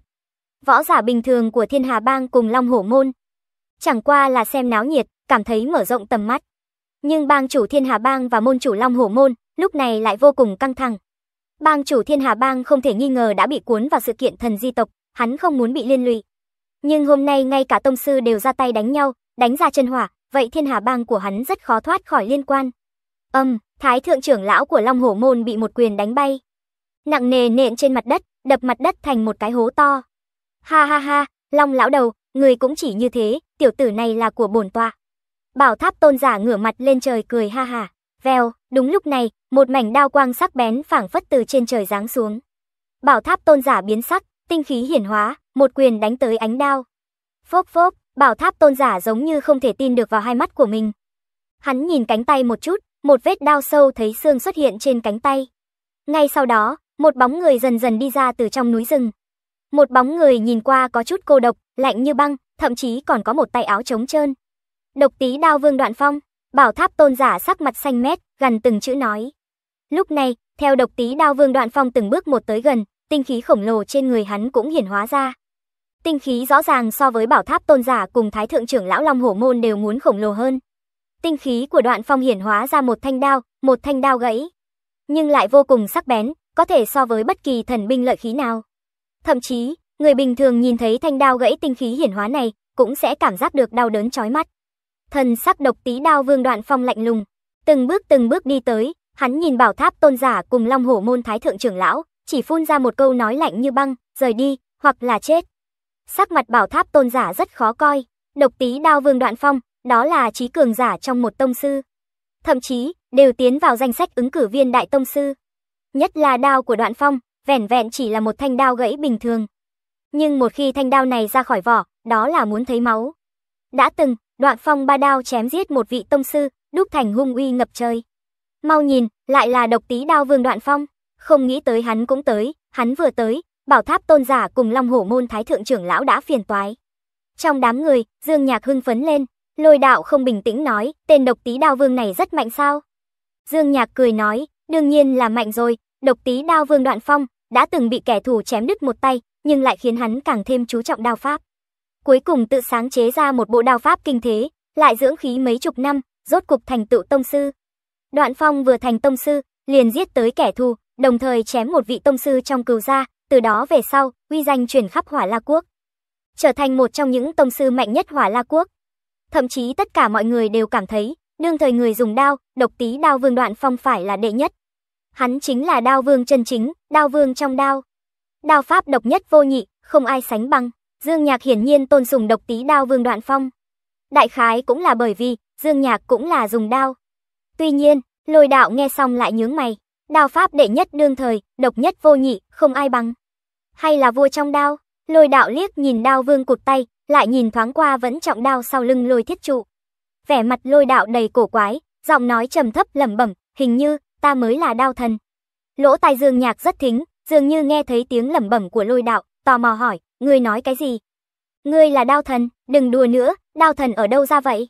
Chỉ có đao vương, đao vương cụt tay, nhưng lôi đạo không để ý tới dương nhạc, hắn ngẩng đầu lên, ánh mắt lộ ra một cỗ khí phách lẫm liệt. Đúng, ta mới là đao thần, chỉ là một tên đoạn phong, làm sao dám xưng vương trong đao. Lôi đạo ngửa đầu cười to, tách mọi người ra, trực tiếp đi về phía độc tí đao vương đoạn phong. Âm, lôi đạo nhất bước ra, khí thế trên người hắn dần dần dâng lên, giống như núi lửa bộc phát, phóng lên tận trời. Thiết trụ, cầm đao, lôi đạo hét lớn một tiếng, sau một khắc, lôi thiết trụ rút vẫn trọng đao sau lưng ra, tựa như cánh cửa cực lớn, ném mạnh về phía lôi đạo. Lôi đạo vững vàng cầm vẫn trọng đao đang gào thét lao tới. Hắn nhìn thoáng qua độc tí đao vương đoạn phong, lập tức cong ngón tay búng ra. Ông, chỉ là ngón tay bắn ra, vẫn trọng đao liền kịch liệt chấn động. Sau đó, vẫn trọng đao hóa thành một đạo lưu quang màu đen, trực tiếp bắn về phía độc tí đao vương đoạn phong. Bá, độc tí đao vương đoạn phong đột nhiên ngẩng đầu, gần như theo bản năng nâng đoạn đao trong tay lên nhẹ nhàng chém một cái. Âm âm, sắc mặt độc tí đao vương đại biến, một trận tiếng nổ kịch liệt vang lên. phảng phất đại địa đều đang chấn động, dư âm lực lượng kinh khủng chấn động ra bốn phương tám hướng. Độc tí đao vương, nhíp, lùi lại mười mấy bước, lúc này mới đạp một cước trên mặt đất, ổn định thân hình. Là ai? Sắc mặt độc tí đao vương vô cùng ngưng trọng, nhìn chằm chằm vào lôi đạo trong đám người. Thương, vẫn trọng đao cắm mạnh xuống đất, thân đao đặc biệt kia hấp dẫn lực chú ý của mọi người. Độc tí đao vương đoạn phong cư nhiên lui về phía sau. Phải biết, vừa rồi độc tí đao vương đoạn phong một đao liền đánh lui bảo tháp tôn giả, thậm chí một đao liền để bảo tháp tôn giả bị thương, không thể không tránh lui. Tông sư cường hãn bực này, chỉ sợ chỉ sau đại tông sư. Lại có ai có thể một kích làm cho đoạn phong đều rút lui vài chục bước. Hơn nữa, vừa rồi bọn họ đã nhìn thấy rất rõ ràng. Đó chỉ là một thanh đao chưa khai phong được ném ra từ trong đám người mà thôi. Âm âm, lôi đạo từ trong đám người đi ra, hắn từng bước một, nhìn như nhàn nhã tản bộ, nhưng tinh khí cuồn cuộn trên người lại giống như vô cùng vô tận, phóng lên tận trời. Thậm chí ở trên bầu trời còn hình thành một đóa hoa màu đen to lớn, che khuất bầu trời, chấn áp hết thảy. Tất cả mọi người dường như cảm giác được đỉnh đầu có một ngọn núi lớn đè ép. Thân thể trở nên vô cùng nặng nề, dường như muốn hoạt động một chút cũng rất khó khăn. Mọi người trong lòng vô cùng chấn động, ngơ ngác nhìn đóa hoa khổng lồ trên bầu trời. Nhất là độc tí đao vương đoạn phong, bảo tháp tôn giả cùng với thái thượng trưởng lão của Long Hổ Môn, ba vị tông sư này rất rõ ràng đóa hoa khổng lồ này có ý nghĩa như thế nào. Tinh khí như trụ, tinh lực chi hoa, đây là Đại tông sư, võ đạo thần thoại, lại là võ đạo thần thoại giáng lâm, là vị đại tông sư nào? Một kích đã khiến độc tí đao vương đoạn phong lui về phía sau mười mấy bước, đây tuyệt đối không phải chuyện tông sư có thể làm được. Đây là một vị đại tông sư, thanh đại đao vô phong này sao trông quen mắt vậy? Trong lúc nhất thời, ánh mắt của mọi người đều chăm chú vào một bóng người chậm rãi đi ra từ trong đám người. Hắn, hắn là đại tông sư, thần thoại võ đạo, đao thần chân chính, trong đám người, Dương Nhạc đều có chút trợn tròn mắt, miệng mở thật lâu cũng không khép lại. Đây thật sự là quá kinh hãi, quả thực là thể nghiệm kích thích nhất trong cuộc đời Dương Nhạc. Ai có thể nghĩ tới, ở bên cạnh Dương Nhạc, một nam tử trẻ tuổi thoạt nhìn không đáng chú ý, lại đường đường là thần thoại võ đạo, đao thần lôi đạo. Chẳng trách lúc trước khi ta khoe khoang độc tí đao vương đoạn phong, sắc mặt hắn khác thường. Ở trước mặt đao thần khoe khoang độc tí đao vương đao pháp độc nhất vô nhị, cái này. Dương Nhạc không khỏi cười khổ, thậm chí vô cùng nghĩ mà sợ, cảm thấy rất may mắn. May mắn, đao thần tựa hồ còn có dung lượng người. Nếu không, chỉ bằng vừa rồi hắn nói khoác độc tí đao vương đoạn phong, chỉ sợ cũng không sống nổi. Dương Nhạc trong lòng nghĩ mà sợ, nhưng mọi người lại không có ai để ý một tiểu đầu lĩnh bình thường của Thiên Hà Bang. Ánh mắt của mọi người đều tập trung vào trên người lôi đạo. Bóng dáng của lôi đạo có vẻ rất trẻ tuổi, thoạt nhìn dáng người cũng không khôi ngô. Hắn cứ như vậy từng bước một chậm rãi đi tới, nhất là trên đỉnh đầu còn đội một đóa tinh lực chi hoa, tinh khí cuồn cuộn, giống như vô cùng vô tận. Đem lôi đạo phụ trợ giống như thần ma, tất cả mọi người không dám có bất kỳ nhúc nhích. Đại tông sư, đây chính là khí thế của một vị võ đạo thần thoại đại tông sư vô địch. Thần thoại giáng lâm, chúng sinh đều lui, lôi đạo từng bước một đi tới bên cạnh vẫn trọng đao, nhưng hắn cũng không rút vẫn trọng đao lên, mà đứng chắp tay, lẳng lặng đứng. Ánh mắt đảo qua tất cả mọi người, cuối cùng dừng lại trên người độc tí đao vương đoàn phong. Hoặc là nói, hẳn là trên người phùng lân phía sau đoạn phong. Thiếu niên này, lôi mỗ muốn, lôi đạo từ tốn nói, nhưng giọng điệu lại rất chân thật đáng tin, lộ ra bá đạo vô biên. Phùng lân, hắn nhất định phải. Độc tí đao vương đoạn phong nhìn chằm chằm vào lôi đạo, một kích vừa rồi, vẻn vẹn chỉ là một kích lôi đạo tiện tay ném ra, quả thực quá tầm thường. Nhưng đoạn phong lại thiếu chút nữa không thể ngăn trở. Mặc dù lui về phía sau vài chục bước, khó khăn lắm mới ổn định được thân hình, nhưng cánh tay còn sót lại của đoạn phong vẫn khẽ run rẩy. Lực lượng một kích của lôi đạo vừa rồi quá mạnh, cho dù mạnh như độc tí đao vương đoạn phong cũng không tiếp nổi. Đoạn phong nhìn thoáng qua phùng lân ở phía sau, sau đó lại nhìn thoáng qua phía sau lôi đạo giống như là cánh cửa vô phong đại đao, đoạn phong gần từng chữ. Ngữ khí ngưng trọng nói, trọng đao của vô phong, các hạ lại là thần thoại võ đạo cao quý, nếu như đoạn mỗ không đoán sai, các hạ chính là hộ quốc đại tông sư của cự liễu quốc, đao thần lôi đạo. Lôi đạo đứng chắp tay, hơi kinh ngạc khi đoạn phong lại nhận ra hắn. Nhưng lôi đạo vẫn gật đầu nói, không tệ, còn nhận ra lôi mỗ. Âm, một viên đá giấy lên ngàn cơn sóng, lời độc tí đao vương đoạn phong nói, khiến tất cả mọi người ở đây đều khiếp sợ không gì sánh được, thậm chí chỉ có thể ngơ ngác nhìn đóa tinh lực khổng lồ trên bầu trời kia. Đao thần lôi đạo, cái tên này gần đây quá vang dội. Đao thần lôi đạo, đao chảm thần thoại võ đạo. Chuyện này đã trở thành một câu chuyện truyền kỳ chính cống, thậm chí trải qua nhiều mặt truyền lưu, đã sớm hoàn toàn thay đổi, nhưng cái này lại không tổn hại uy nghiêm của lôi đạo.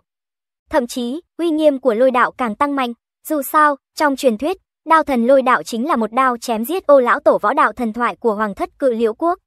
Thậm chí, có người nói đao pháp của đao thần lôi đạo đã không phải là đao pháp của nhân gian.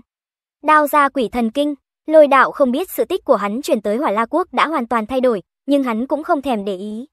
Hắn chính là đao thần, đao trung thần, về phần hắn có thể dùng đao pháp hay không, chuyện này có quan trọng không? Cho dù là độc tí đao vương đoạn phong cũng không dám, lĩnh giáo, đao pháp lôi đạo.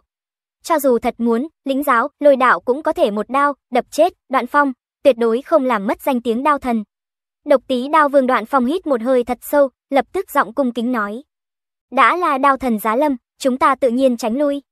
Thiếu niên này, giao cho đao thần, dứt lời, độc tí đao vương đoạn phong hướng lôi đạo thi lễ một cái, trực tiếp nhường lại vị trí, thối lui sang một bên, lộ ra Phùng Lân ở sau lưng.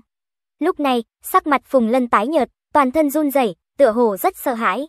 Lực lượng thần niệm của hắn đã sử dụng quá độ, bây giờ căn bản không có tác dụng gì.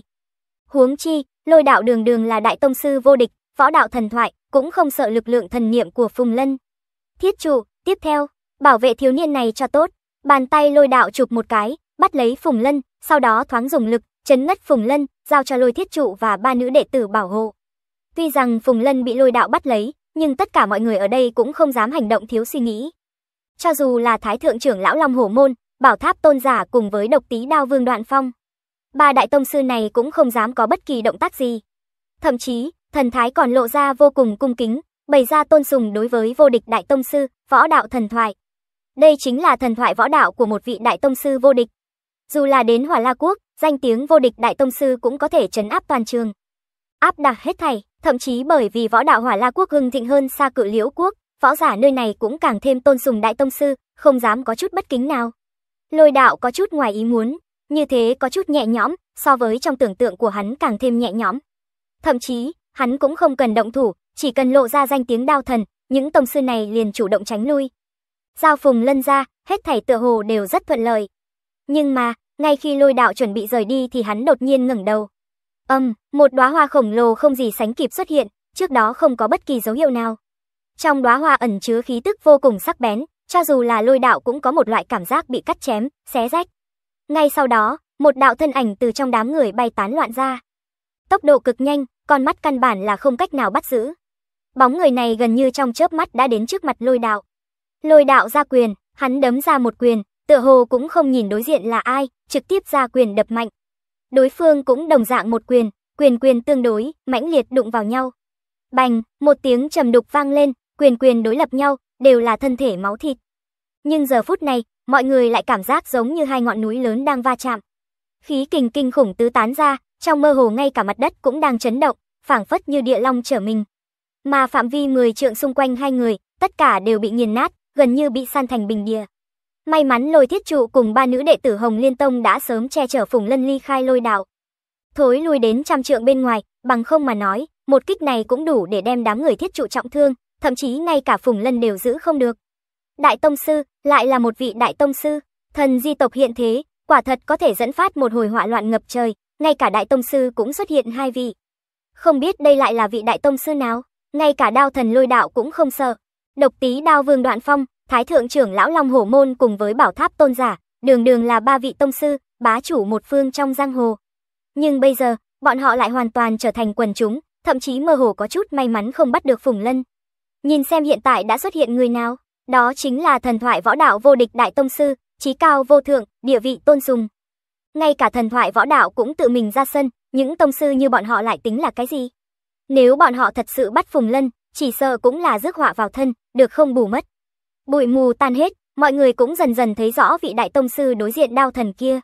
Đó là một lão giả tóc trắng mặc áo bào trắng, thân hình có chút thon gầy thấp bé, mặc dù khí chất xuất chúng, nhưng tướng mạo lại mơ hồ có chút xấu xí.